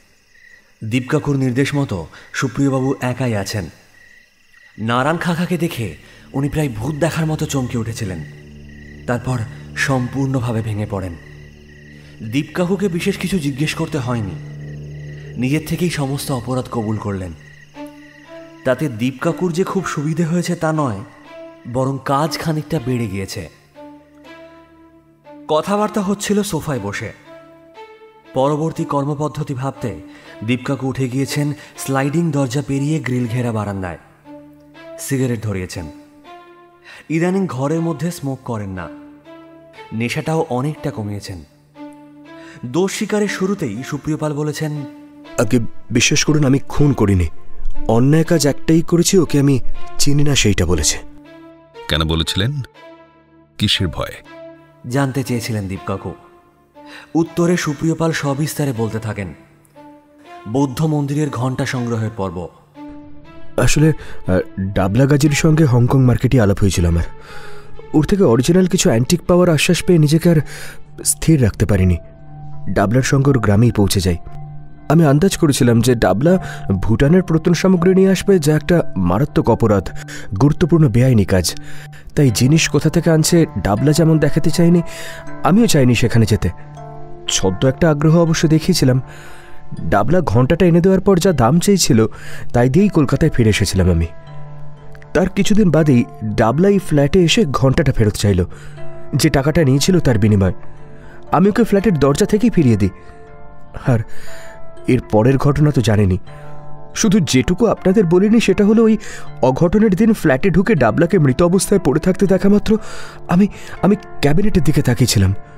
দেখলাম রাউন্ড পাল্লাটা খোলা। ডাবলা ঘুরে যাওয়ার পর যেটা লক লাগিয়েছিলাম আমি। আর আর আর ঘন্টাটা ঘন্টাটা উধাও। ডাবলা যে ঘন্টাটা চুরির উদ্দেশ্যে ঘরে ঢুকেছিল, তাতে তো কোনো সন্দেহই নেই। কিন্তু এই একই অভিসন্ধি নিয়ে বোধহয় অন্য একজনও ছিল ঘরে। ডোরবেলের আওয়াজ পেতেই সে বুঝতে পারে যে সে ধরা পড়তে চলেছে। তাই ডাবলাকে গুলি করে ঘন্টাটা নিয়ে পালায়। বাড়িতে মৃতদেহ আর গুলির আওয়াজ।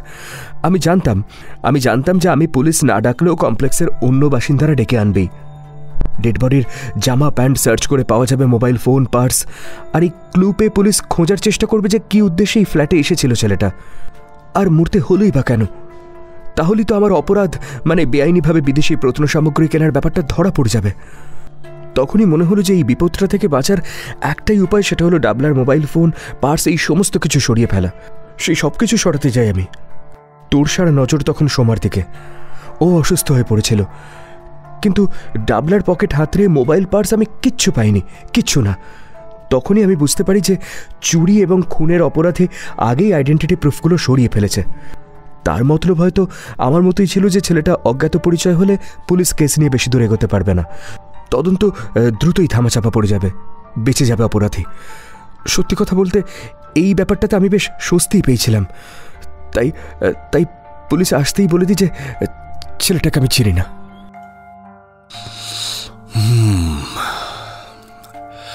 আপনি কিন্তু এখনও একটা ব্যাপার গোপন করে যাচ্ছেন। আপনার দুটো মোবাইল। পুলিশকে একটা নাম্বার দিয়েছেন, অন্যটা রেখেছেন চোরাই জিনিস কেনার ক্ষেত্রে যোগাযোগের জন্য। ঘন্টাটা ফেরত পেতে চেয়ে ডাবলা আপনার দেওয়ার নাম্বারে কল করেছিল। সেটা হয় অফ করা ছিল, অথবা ডাবলার প্রস্তাবে আপনি রাজি হননি। মরিয়া হয়ে আপনার ফ্ল্যাটে হাজির হয় ডাবলা। ওর থেকে আরও প্রত্ন সামগ্রী পাওয়ার আশায় নিজের অ্যাড্রেসটা সঠিক দিয়েছিলেন। আপনার অপর ফোনটির কথা সোমাদেবীকেও জানাননি। তাই না? বীরপাড়ায় যাওয়ার সময় শিলিগুড়ি পেরোতেই আপনার রেগুলার মোবাইল সেটটা নিষ্ক্রিয় করে দেন। পাশে কোনো কল এলে আপনার কল লিস্ট বীরপাড়া যাওয়ার প্রমাণ রেখে দেয়। সোমাদেবীর ফোনের কল লিস্টে বীরপাড়ার পাবলিক বুথের নাম্বার পাওয়া গিয়েছে। নির্ঘাত আপনিই ফোন করেছিলেন। ফোনে আপনাকে না পেয়ে সোমাদেবী চিন্তিত হবেন বলে? সোমাদেবীকে বলেননি যে বীরপাড়ায় আছেন। বলেছেন আপনার ফোনটা বিগড়েছে। ডাবলার ফোন নাম্বার আমি নারায়ণের থেকে পেয়েছি। কল লিস্ট চেক করে আপনার গোপন নাম্বারটা তো আমি বার করে ফেলব। আক্ষরিক অর্থেই সুপ্রিয়পাল কিছুক্ষণ হাঁ হয়ে তাকিয়েছিলেন দীপকাকুর দিকে। তারপর বললেন এই প্রথমবার আমি এভাবে জিনিস কিনেছি। ফোন নাম্বারটাও ব্যবহার করছি সম্প্রতি। আমার ড্রাইভারের ফোন আমিই কিনে দিয়েছিলাম। মাসখানেক হলো চাকরি ছেড়ে দিয়েছে। যাওয়ার আগে ফেরত দিয়ে গেছে ফোনটা। ঠিক আছে। এর সত্যতা না হয় পরে যাচাই করা যাবে। তার আগে বলুন যে এগারোই ডিসেম্বর ডাবলা যখন আপনার কাছে এসেছিল কতক্ষণ ধরে চলেছিল কথাবার্তা? ঝগড়ার আওয়াজ মতো হয়েছিল কি? আশেপাশে কেউ শুনেছে? একটু বাগবিতণ্ডা হয়েছিল, কিন্তু মিনিট পাঁচেকের বেশি নয়। ঝগড়ার আওয়াজ ভিতরে গেলে সোমা শুনে ফেলবে। সেই ভেবে আমি দরজা টেনে গিয়ে ওই প্যাসেজে দাঁড়িয়ে কথা বলেছি। প্যাসেজে কেউই ছিল না। সিঁড়ি দিয়ে তখন কেউ ওঠানামাও করেনি। আপনি সিঁড়ির নিচে একটা চাতালি শুধু দেখতে পাচ্ছিলেন। হতে পারে তার নিচ থেকে কেউ উঠে আসছিল, অথবা ওপর থেকে কেউ নামছিল। চেঁচামেচি শুনে দাঁড়িয়ে পড়ে সে। যদিও লিফট থাকলে এত উঁচু ফ্ল্যাটের লোক একান্ত প্রয়োজন ছাড়া সিঁড়ি ব্যবহার করে না। কথা শেষ করে পকেট থেকে সিগারেটের প্যাকেট বের করে বারান্দায় চলে গিয়েছিলেন দীপকাকু ঝিনুকরা তিনজন চুপচাপ বসে আছে তখন থেকে।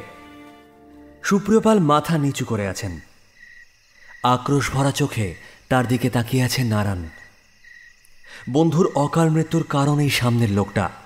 সেই জন্যই রাগ। ঝিনুক সেন্টার টেবিল থেকে একটা ম্যাগাজিন তুলে নিয়ে পাতা উল্টে যাচ্ছে। পড়ছে না কিছুই। ঘরে এলেন দীপকাকু। সুপ্রিয়বাবুর দিকে তাকিয়ে বললেন, শুনুন, আপনার কথার উপর নির্ভর করে তদন্ত চালিয়ে যাব আমি। আশা করি আর কিছু গোপন করেননি। যতটুকু বলেছেন সেটাও শাস্তিযোগ্য অপরাধ। তথ্য গোপন করে পুলিশকে বিভ্রান্ত করেছেন। এরপরও আইও যদি আপনাকে ফেভার করে রিপোর্ট দেন, তাহলে হয়তো জেল এড়িয়ে শর্তাধীন জামিন পাবেন। সেক্ষেত্রে আপনাকে কোনো বড় উকিল ধরতে হবে। আর মিথ্যে বলে আমাকে যদি মিসগাইড করার চেষ্টা করেন, রেহাই পাবেন না। সত্য উদ্ঘাটন আমি করবই। তখন আপনার জেলের ঘানি টানা কেউ আটকাতে পারবে না। প্রমিস সুপ্রিয়পাল ভাবলেশীন দৃষ্টিতে, চেয়ে আছেন দীপকাকুর দিকে। হাতের ইশারায় ঝিনুকদের ডেকে নিয়ে বাইরের দরজা লক্ষ্য করে এগিয়ে গেলেন দীপকাকু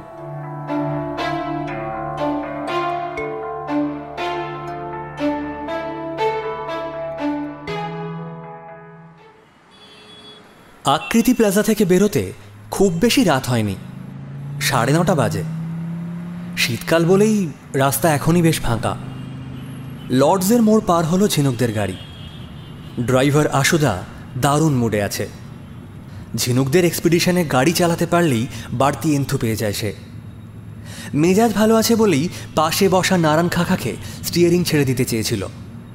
জেনে নিয়েছে নারায়ণ ড্রাইভিং জানে। দীপ কাকু নিরস্ত করেছেন। না না তুমি যেমন পাহাড়ে ওর মতো গাড়ি চালাতে পারবে না ও তেমনি কলকাতার রাস্তায় ড্রাইভিং করতে গিয়ে অ্যাক্সিডেন্ট করে বসবে। দরকার নেই। এরপর থেকে আশুদা বলে যাচ্ছে তার পাহাড়ে গাড়ি চালানোর এক্সপিরিয়েন্স শুনতে বেশ ভালোই লাগছে ঝিনুকের রিলিফ ফিল করছে। কেসটার জটিলতায় মাথা পুরো জট পাকিয়ে গিয়েছিল। আচমকা কানের কাছে এক বিকট আওয়াজ। চমকে ওঠার মাঝেই ঝিনুকের কোলের ওপর কি যেন সব এসে পড়ল। ঝাঁকুনি দিয়ে দাঁড়িয়ে গেছে গাড়ি। ভেতরে ধোঁয়া এসে ঢুকেছে। তাতে বারুদের গন্ধ। আশুধা আতঙ্কের গলায় বলে উঠল গুলি করে পালালো মোটর বাইক। ঝিনুক দেখল পাশে দীপকাকু নেই। গাড়ির দরজা খোলা।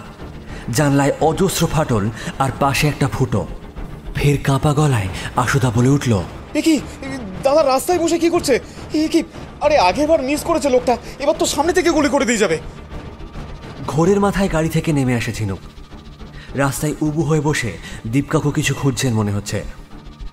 কাছে গিয়ে মাথা নামিয়ে ঝিনুক বলে খুঁজছেন দীপ কাকু? চলে আসুন। আবার যদি ফিরে এসে গুলি করে? না আর আসবে না। খুন করার জন্য গুলি চালায়নি। হুমকিটা ফাঁপা নয় সেটা বুঝিয়ে দিয়ে গেল। আমি বুলেটের খোলটা খুঁজছি। খোলটা কি কাজে লাগবে বুঝতে পারছে না ঝিনুক। এরকম একটা মারাত্মক ঘটনার অভিঘাতে দীপকাকুর মাথাটা বোধহয় ঠিকঠাক কাজ করছে না। ফাঁকা কার্তুজটা পেয়েও গেলেন দীপকাকু হাতে নিতে গিয়ে বোধহয় গরম ছ্যাঁকা লাগল। রুমাল বার করে ধরলেন। সব শুদ্ধ পকেটে পুরে গাড়ির দিকে এগিয়ে যেতে যেতে বললেন, কাঁচতলা চলন্ত গাড়িতে বাইক চালাতে চালাতে সঠিক নিশানায় শ্যুট করার মতো শার্প শুটার কলকাতা হাতে গুনে পাওয়া যাবে। আমাকে ভয় দেখাতে গিয়ে নিজের অপরাধ বাড়িয়ে ফেলল অপরাধী। ফেলে গেল কার্তুজ। আমার ধারণা, যে পিস্তল দিয়ে ডাবলাকে খুন করা হয়েছিল, এটা সেটারই কার্তুজ। আগের ফাঁকা কার্তুজ পাওয়া গিয়েছে সুপ্রিয় পালের ফ্ল্যাটে। এটার সঙ্গে ম্যাচ করাবো। চলো ব্যাক করো।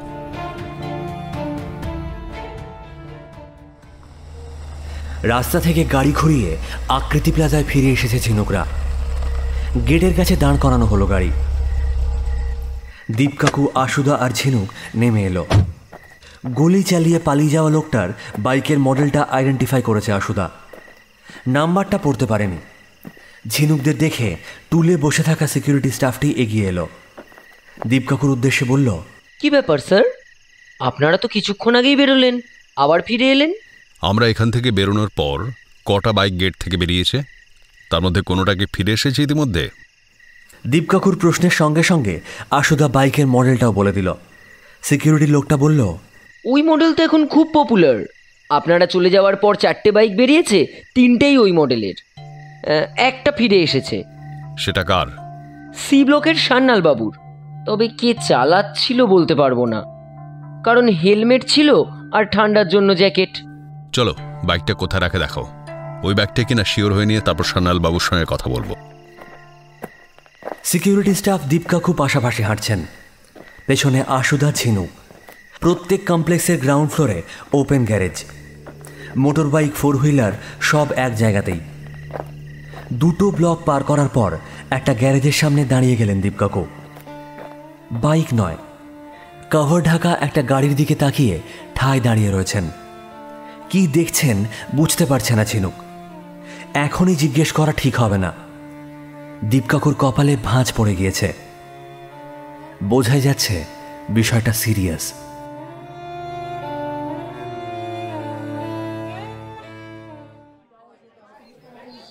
আকৃতি প্লাজায় আজ আবার শোরগোল কাণ্ড।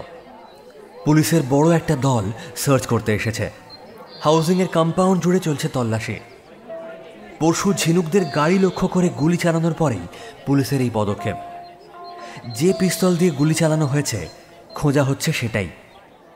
পুলিশের কাছে ইনফরমেশন এসেছে, এই ফ্ল্যাট কমপ্লেক্সের কোনো একজনের কাছে লাইসেন্সবিহীন পিস্তল আছে। ঝিনুকদের গাড়িতে ছোঁড়া বুলেটের খোলের সঙ্গে ম্যাচ করে গিয়েছে ডাবলা গাজীকে মারা বুলেটের খোল। ডাবলার মৃতদেহ যেহেতু পাওয়া গিয়েছে সুপ্রিয় পালের ফ্ল্যাটে সুতরাং পুলিশের অনুমান, এই কমপ্লেক্সের লাইসেন্স ছাড়া পিস্তল থেকেই ছোঁড়া হয়েছে গুলি দুটো। একই সঙ্গে পুলিশ মনে করছে, অপরাধী পিস্তলটা নিজের ফ্ল্যাটে রাখবে না। সার্চিংয়ের ভয়ে। প্রথমবার গুলি চলতেই কমপ্লেক্সের বেশ কিছু ফ্ল্যাটে তল্লাশি চালিয়েছে পুলিশ। দ্বিতীয়বার একই পিস্তল থেকে গুলি ছোড়া হয়েছে আন্দাজ করতে পারলে পুলিশ প্রতিটা ফ্ল্যাট সার্চ করবে। এমন আশঙ্কাতেই অপরাধী নিজের নাগালের মধ্যে এই কম্পাউন্ডেই কোনো গোপন জায়গায় লুকিয়ে রাখবে পিস্তলটা। পুলিশের এই অভিযানে অংশ নিয়েছেন দীপকাকুও সাথে রয়েছে ঝিনুক। দীপকাকু পুলিশের সঙ্গে ঘুরে ঘুরে তল্লাশি চালাচ্ছে না। উনি আছেন সুপ্রিয় পালের ড্রয়িং রুমে সেখানে পাঁচ সন্দেহভাজনকে ডেকে নিয়ে জিজ্ঞাসাবাদ চালাচ্ছে নতুন করে। সন্দেহের তালিকায় তাদের অন্তর্ভুক্তির কথা অবশ্য তারা জানেন না। ঝিনুক রয়েছে পুলিশের তল্লাশি টিমের সঙ্গে। ইতিমধ্যে দেখা হয়েছে ইলেকট্রিক মিটার ঘর এবং জলের পাম্পের ঘর। এখন পার্কের বেঞ্চের তলাগুলো দেখা হচ্ছে। পুলিশের পিছন পিছন ঘুরছে এই কমপ্লেক্সের কিছু কচিকাঁচা আর কয়েকজন বয়স্ক লোক। তারা জানে না আজকের এই পুলিশি অভিযান আসলে একটা প্রহসন। অপরাধীকে প্রমাণ সমেত ধরার প্ল্যান। প্রহসনের নির্দেশক দীপকাকু। যেহেতু নাটকটা কোনো মঞ্চে উপস্থাপিত হচ্ছে না তাই প্রয়োজনীয় আলোক সম্পাতের জন্য নির্ভর করতে হয়েছে প্রকৃতির ওপর। বিকেলের আলোতে শুরু হয়েছে অপারেশন। ক্লাইম্যাক্সের জন্য বাছা হয়েছে সন্ধেবেলাটা। বাবা এই অভিযানে সামিল হতে চেয়েছিলেন। দীপকাকু রাজি হননি। বলেছেন, না না না। ইনভেস্টিগেশনের শেষ পর্যায়ে আপনি প্রথমবার ঘটনার প্রেক্ষাপটে গিয়ে পৌঁছবেন। সন্দেহভাজন অকস্থল নিয়ে প্রচুর প্রশ্ন জাগবে আপনার মনে। আর তখন উত্তর দেওয়ার অবস্থায় থাকব না আমরা। সন্দেহভাজনদেরও আপনাকে দেখে খটকা লাগবে। অপারেশনের ছন্দ কাটবে তাতে। তার চেয়ে এতদিন যখন কেসটার বিবরণ আমাদের কাছ থেকে শুনেছেন, শেষটাও জেনে নেবেন।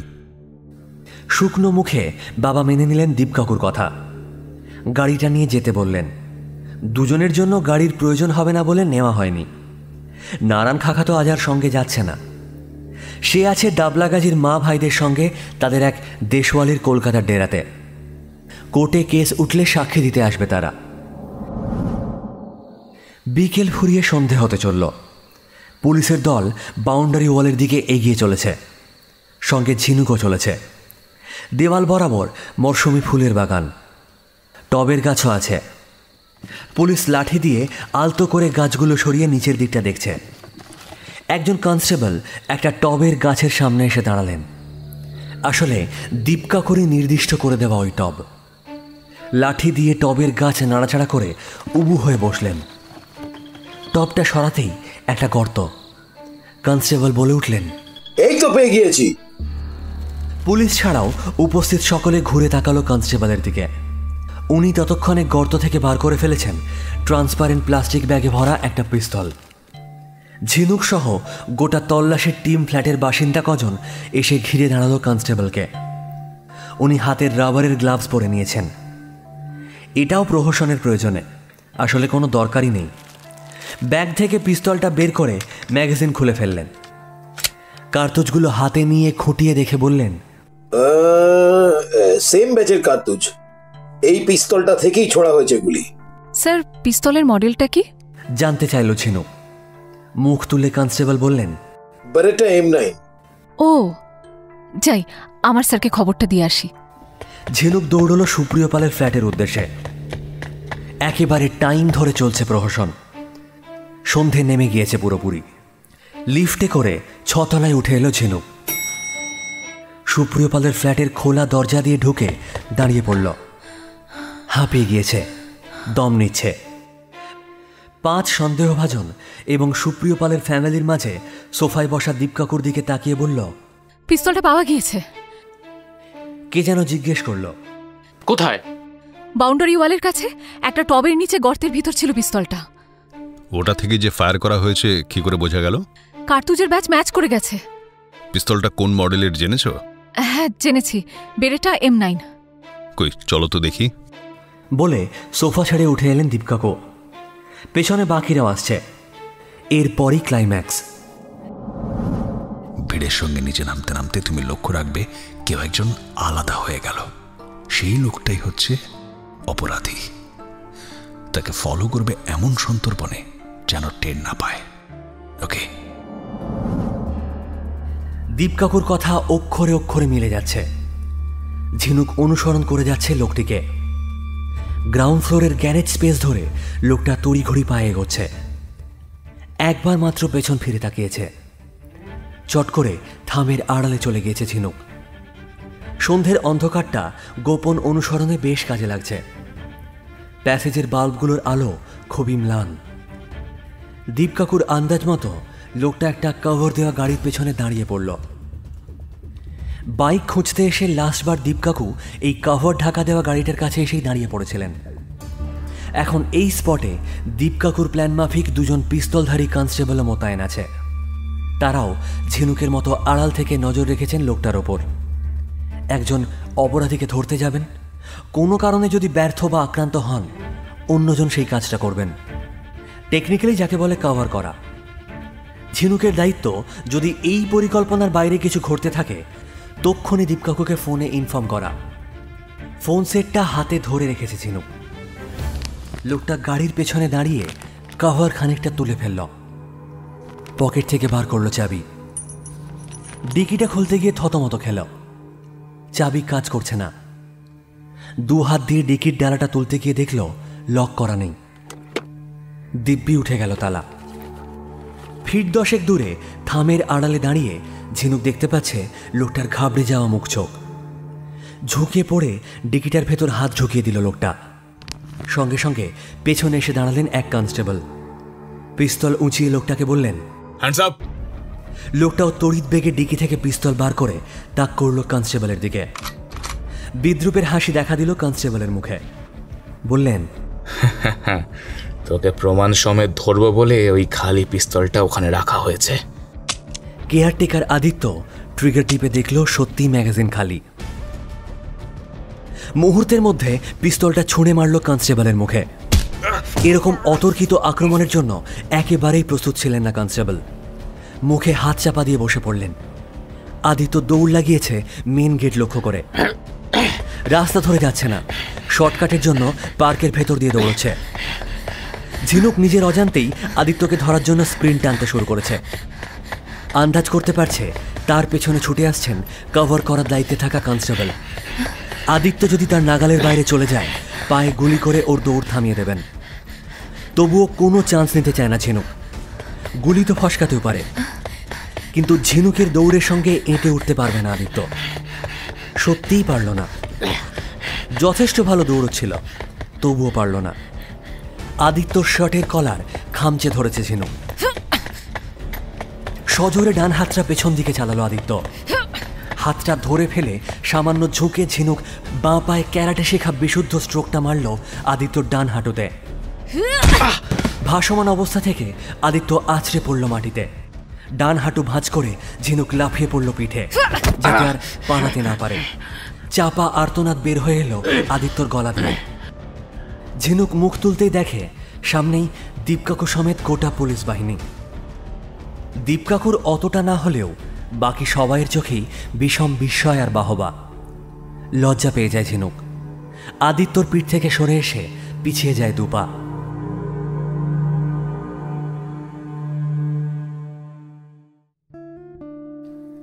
পায়ে গুলি না চালিয়ে অপরাধীকে ধরতে পারা গিয়েছে বলে ঝিনুক পুলিশের কাছ থেকে খুবই প্রশংসিত হয়েছে। আহত অপরাধীকে সুস্থ করার দায় থাকত পুলিশের। সুস্থ না হওয়া অবধি কোর্টে তোলা যেত না।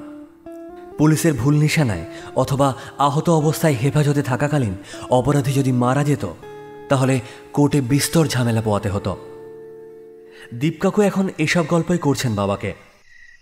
আকৃতি প্লাজা থেকে সরাসরি ঝিনুকদের বাড়িতে আসা হয়েছে। বাবা অধীর আগ্রহে অপেক্ষা করছিলেন তদন্তের শেষটা শোনার জন্য। দীপকাকু ডিনারটা ঝিনুকদের বাড়িতেই সারবেন। মায়ের রান্নার মস্ত বড় ফ্যান উনি। অপরাধীকে কীভাবে ধরা হলো, সবটাই বলে যাচ্ছেন দীপকাকু। আদিত্যর ওপর আমার প্রথম সন্দেহ জাগে যখন জানলাম যে ওর কোয়ার্টার বাউন্ডারি ওয়ালের ধার ঘেঁষে। গুলির আওয়াজের পর আদিত্য দ্বিতীয় ব্যক্তি যে সুপ্রিয় পালের ফ্ল্যাটে এসেছিল।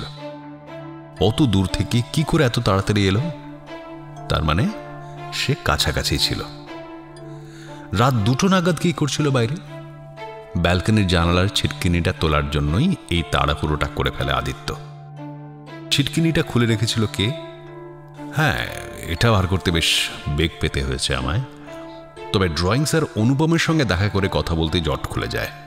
কর্পোরেশনের বিল পাল্টাপাল্টি হওয়ার কারণে আদিত্য যখন এসেছিল ফ্ল্যাটে, অনুপম তার গলা শুনেছিল, কিন্তু ঘুরে দেখেনি। অর্থাৎ মেঝেতে বসা অনুপমের পিঠ ছিল দরজার দিকে। তোরসাও ড্রয়িংয়ে মগ্ন। দুজনকে এভাবে আগেও দেখেছে আদিত্য? তাই ওই সময়টাই বেছে নিয়েছিল ছিটকিনি খোলার জন্য। বিলটা সে আগে থেকেই পাল্টে দিয়েছিল যাতে ওই অজুহাতে সোমাদেবীকে ভিতর ঘরে পাঠানো যায়। এগারোই ডিসেম্বর সুপ্রিয় পালের সঙ্গে মাত্র পাঁচ মিনিট উত্তপ্ত বাক্য বিনিময়ের পর ডাবলাগাজি, বাকি পঞ্চান্ন মিনিট কোথায় ছিল?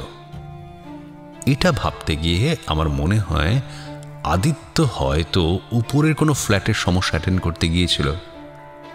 এখানে আদিত্যকে মনে করার কারণ হচ্ছে ততদিনের সন্দেহ তার দিকে ঘুরে গিয়েছিল। আদিত্য উপরের ল্যান্ডিংয়ে দাঁড়িয়ে নিচের ঝগড়া শুনেছিল। ডাবলাগাজি যখন নিচে নেমে এসেছে, আদিত্য আলাপ জমায় তার সঙ্গে। কি কারণে ঝগড়া হলো সেটা জানতে চায়। ডাবলাগাজি সব কিছু বললেও কোন জিনিসটা ফেরত নিতে এসেছে সেটা কিন্তু বলেনি। ভয় পেয়েছিল। সে চলে যাওয়ার পর যদি আদিত্য জিনিসটা সুপ্রিয় পালের ফ্ল্যাট থেকে চুরি করে নেয়। আদিত্য যখন বুঝতে পারল যে ডাবলা বলবে না সে কোন জিনিসটা ফেরত নিতে এসেছে, তখন অন্য প্ল্যান নিল। ডাবলাকে বলল আমি তোমাকে ওই ফ্ল্যাটে গোপনে ঢুকিয়ে দেওয়ার ব্যবস্থা করব। সেই বাবদ তুমি আমাকে কিছু টাকা দিও।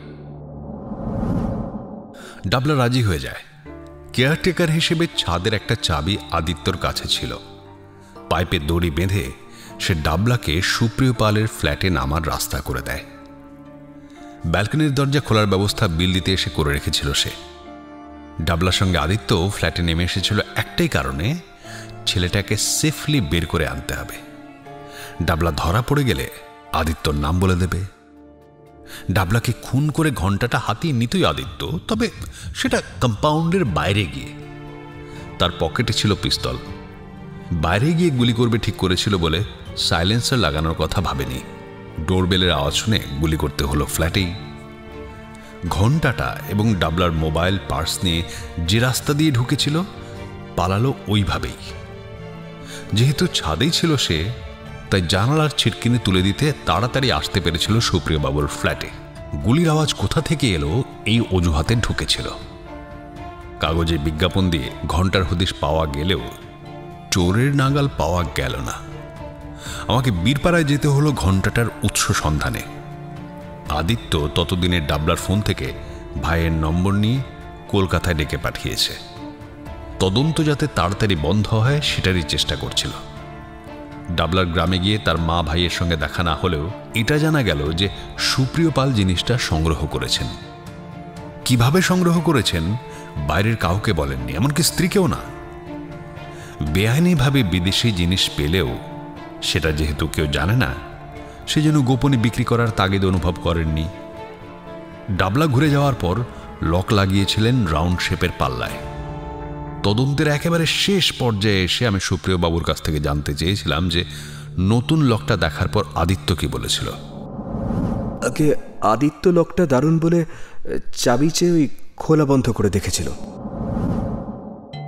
সুপ্রিয়বাবুর সঙ্গে দীপকাকুর এই কথোপকথন ঘটেছিল ঝিনুকের অগোচরে। সুপ্রিয়বাবুর দেওয়া তথ্য থেকেই দীপকাকু বুঝে যান যে লক খোলা বন্ধ করার সময় পকেটে সাবান রেখেছিল আদিত্য। চাবির ছাপ তুলে নেয় তখনই। প্রথম জেরায় আদিত্য বলেছিল দামি জিনিস সুপ্রিয়বাবু ঘরের ভেতরে রেখেছেন। পাল্লায় নতুন লকটা আইবস কাচের পাল্লা তো ভেঙেই চুরি করা যায়। দীপকাকুর দৃষ্টি ঘোরানোর জন্যই কথাটা বলেছিল। বলে ভুলই করেছিল। সন্দেহ ওর দিকেই চলে গিয়েছিল। চুরি হয়েছে রাতে। ভেতর ঘরে তোরসা সমাদেবী ছিলেন। সুপ্রিয়বাবু যে ট্যুরে যাবেন এই খবর আগেই জোগাড় করেছিল আদিত্য। কাঁচের পাল্লা ভাঙতে গেলে আওয়াজ হতো, তাই লকের চাবি নকল করা দরকার হয়ে পড়েছিল। দীপকাকুকে প্রথম হুমকিটা দিতে কোনো অসুবিধেই হয়নি আদিত্যর। কেয়ারটেকার বলে সিকিউরিটি রুমের সামনে তাকে প্রায়ই দেখা যায়। কি করছে, না করছে, গার্ডেরা অত খেয়াল করে না। কেনই বা করবে? সে তো এই কমপ্লেক্সের ভেতরের লোক। এই সুবিধেতেই এক ফাঁকে দীপকাকুর মোটর বাইকে হুমকির চিরকুট রেখে এসেছিল আদিত্য। এছাড়াও সিকিউরিটি স্টাফদের সঙ্গে ঘনিষ্ঠতার সুবাদেই ডাবলার মৃত্যুর পর রেজিস্টার খাতা থেকে এগারোই ডিসেম্বর ওর এন্ট্রির তথ্যটা কেটে দিতে পেরেছিল। ফ্ল্যাটের অন্য কোনো বাসিন্দা হয়তো সহজে এটা পারত না, কারণ তাদের এন্ট্রির সময় নাম লিখতে হয় না। হঠাৎ কেউ রেজিস্টার খাতা চাইলে গার্ডের মনে প্রশ্ন জাগত যে খাতা নিয়ে সে কী করবে। তবে ডাবলার নাম কাটতে পারলেও ভিডিও ফুটেজ সরাতে পারেনি আদিত্য। সেটা ততদিনে কপি হয়ে চলে গিয়েছে সিকিউরিটি এজেন্সির ব্যাংকিংয়ে। আদিত্যকে যে সন্দেহ করা হচ্ছে, এটা বুঝতে না দেওয়ার জন্যই দীপকাকু প্রথমবারের তল্লাশিটা ওই পাঁচজনের ফ্ল্যাটেই চালাতে বলেন। কিছু না পাওয়া যাওয়াতে দীপকাকু চিন্তায় পড়ে যান। এখানে দ্বিতীয় হুমকিটা দিয়ে ভুল করে বসে আদিত্য। দীপকাকু বাইকের সন্ধানে আকৃতি প্লাজায় ফেরত এসে দেখেন, একটা গাড়ির কাভারের পেছনটা একটু উঠে আছে। তাহলে কি ওখানেই এইমাত্র সেই গুলি ছুড়ে আসা পিস্তলটা রাখা হয়েছে। তখনই সার্চ করেনি দীপকাকু কিছুক্ষণ আগে অপরাধী যে মডেলের বাইক চেপে গুলি চালিয়েছিল, একই মডেলের বাইক নিয়ে সে হাউজিংয়ে ফিরেছে। তাই তিনি সান্নালবাবুর ফ্ল্যাটে যান। সান্নালবাবু জানালো সে ওষুধ কিনতে বেরিয়েছিল। প্রেসক্রিপশনও দেখাল। সান্নালবাবুর ফ্ল্যাট থেকে বেরিয়ে সিকিউরিটি রুমে এসেছিলেন দীপকাকু সিসিটিভি ফুটেজে দেখল আদিত্যকে পায়ে হেঁটে গেটের বাইরে যেতেও দেখা গেল না। আদিত্যর ঘর যেহেতু বাউন্ডারি ওয়ালের গায়ে, দীপকাকু ধরে নিলেন, আদিত্য পাঁচিল টপকে চীনা কারুর বাইক নিয়ে কাণ্ডটি ঘটিয়েছে। একইভাবে ফিরেও এসেছে। তার ঘরে আলো জ্বলছিল। জানলা দিয়ে দেখাও গিয়েছিল তাকে। তার মানে পিস্তলটা সে লুকিয়ে ফেলেছে এমন জায়গায়, যেখানে পুলিশের হাত পৌঁছবে না। আর সেখানেই সে নিশ্চয়ই রেখেছে ঘন্টাটা সেটা বড় নির্ভরতার জায়গা তার। খুব সম্ভব কভার ঢাকা গাড়িতেই আছে জিনিস দুটো। দীপকাকু সিকিউরিটি স্টাফের কাছে জেনেছিলেন, গাড়িটার মালিক এখন বিদেশে। চাবি থাকে আদিত্যর কাছেই। গভীর রাতে পুলিশকে নিয়ে এসে দীপকাকু ডিকির তালা ভেঙে দুটো জিনিসই পেয়ে গেলেন। পিস্তল থেকে গুলি সরিয়ে নিয়ে দুটো জিনিসই রেখে দিলেন যথাস্থানে। আদিত্যকে হাতে নাতে ধরার জন্যই রেখেছিলেন। নয়তো আদিত্য বলতে পারত ওসব আমার নয়। তারপর প্রহসন রচিত হলো। পিস্তল পাওয়া গিয়েছে শুনে আদিত্য ঘাবড়ে গিয়ে নিজের গোপন জায়গায় পৌঁছল। ঘণ্টা এবং পিস্তল দেখে নিশ্চিন্ত হয়ে ভাবল যে পিস্তলটা পেয়েছে পুলিশ সেটা অন্য কারুর। ভাবতে পারেনি পিস্তলে গুলি নেই। পুলিশকে গুলি করতে গিয়ে বামাল সমেত ধরা পড়ল। দীপকাকুর কৃতিত্বে সুপ্রিয় পালের ঘাড়ে খুনের দায় চাপেনি বলে উনি স্বস্তি পেয়েছেন। শাস্তি অল্প হবে। দীপকাকুকে রেমুনারেশন দিতে চেয়েছেন সুপ্রিয় পাল। পুলিশও পুরস্কৃত করবে দীপকাকুকে এত সাফল্য সত্ত্বেও একটা আক্ষেপ রয়ে গেছে ঝিনুকের। জঙ্গলের সেই পরিত্যক্ত বৌদ্ধ মন্দিরে আর যাওয়া হলো না। দীপকাকু বাবার কথাবার্তার মাঝেই অলিক কল্পনায় ঝিনুক পৌঁছে যায় সেই জঙ্গলকীর্ণ বৌদ্ধ মঠের পথে। তার হাতে চুরি যাওয়া তিব্বতী ঘরানার ঘণ্টা। রেখে আসবে মন্দিরে। সন্ধে নেমে গিয়েছে। মন্দির পাহারা দিচ্ছে পাহাড় আকৃতির হাতির দল। ঝিনুককে দেখে তারা পথ ছেড়ে দাঁড়াল। সুর তুলে হাঁক দিল বৃংহন আসলে ঝিনুককে অভিনন্দন জানালো তারা।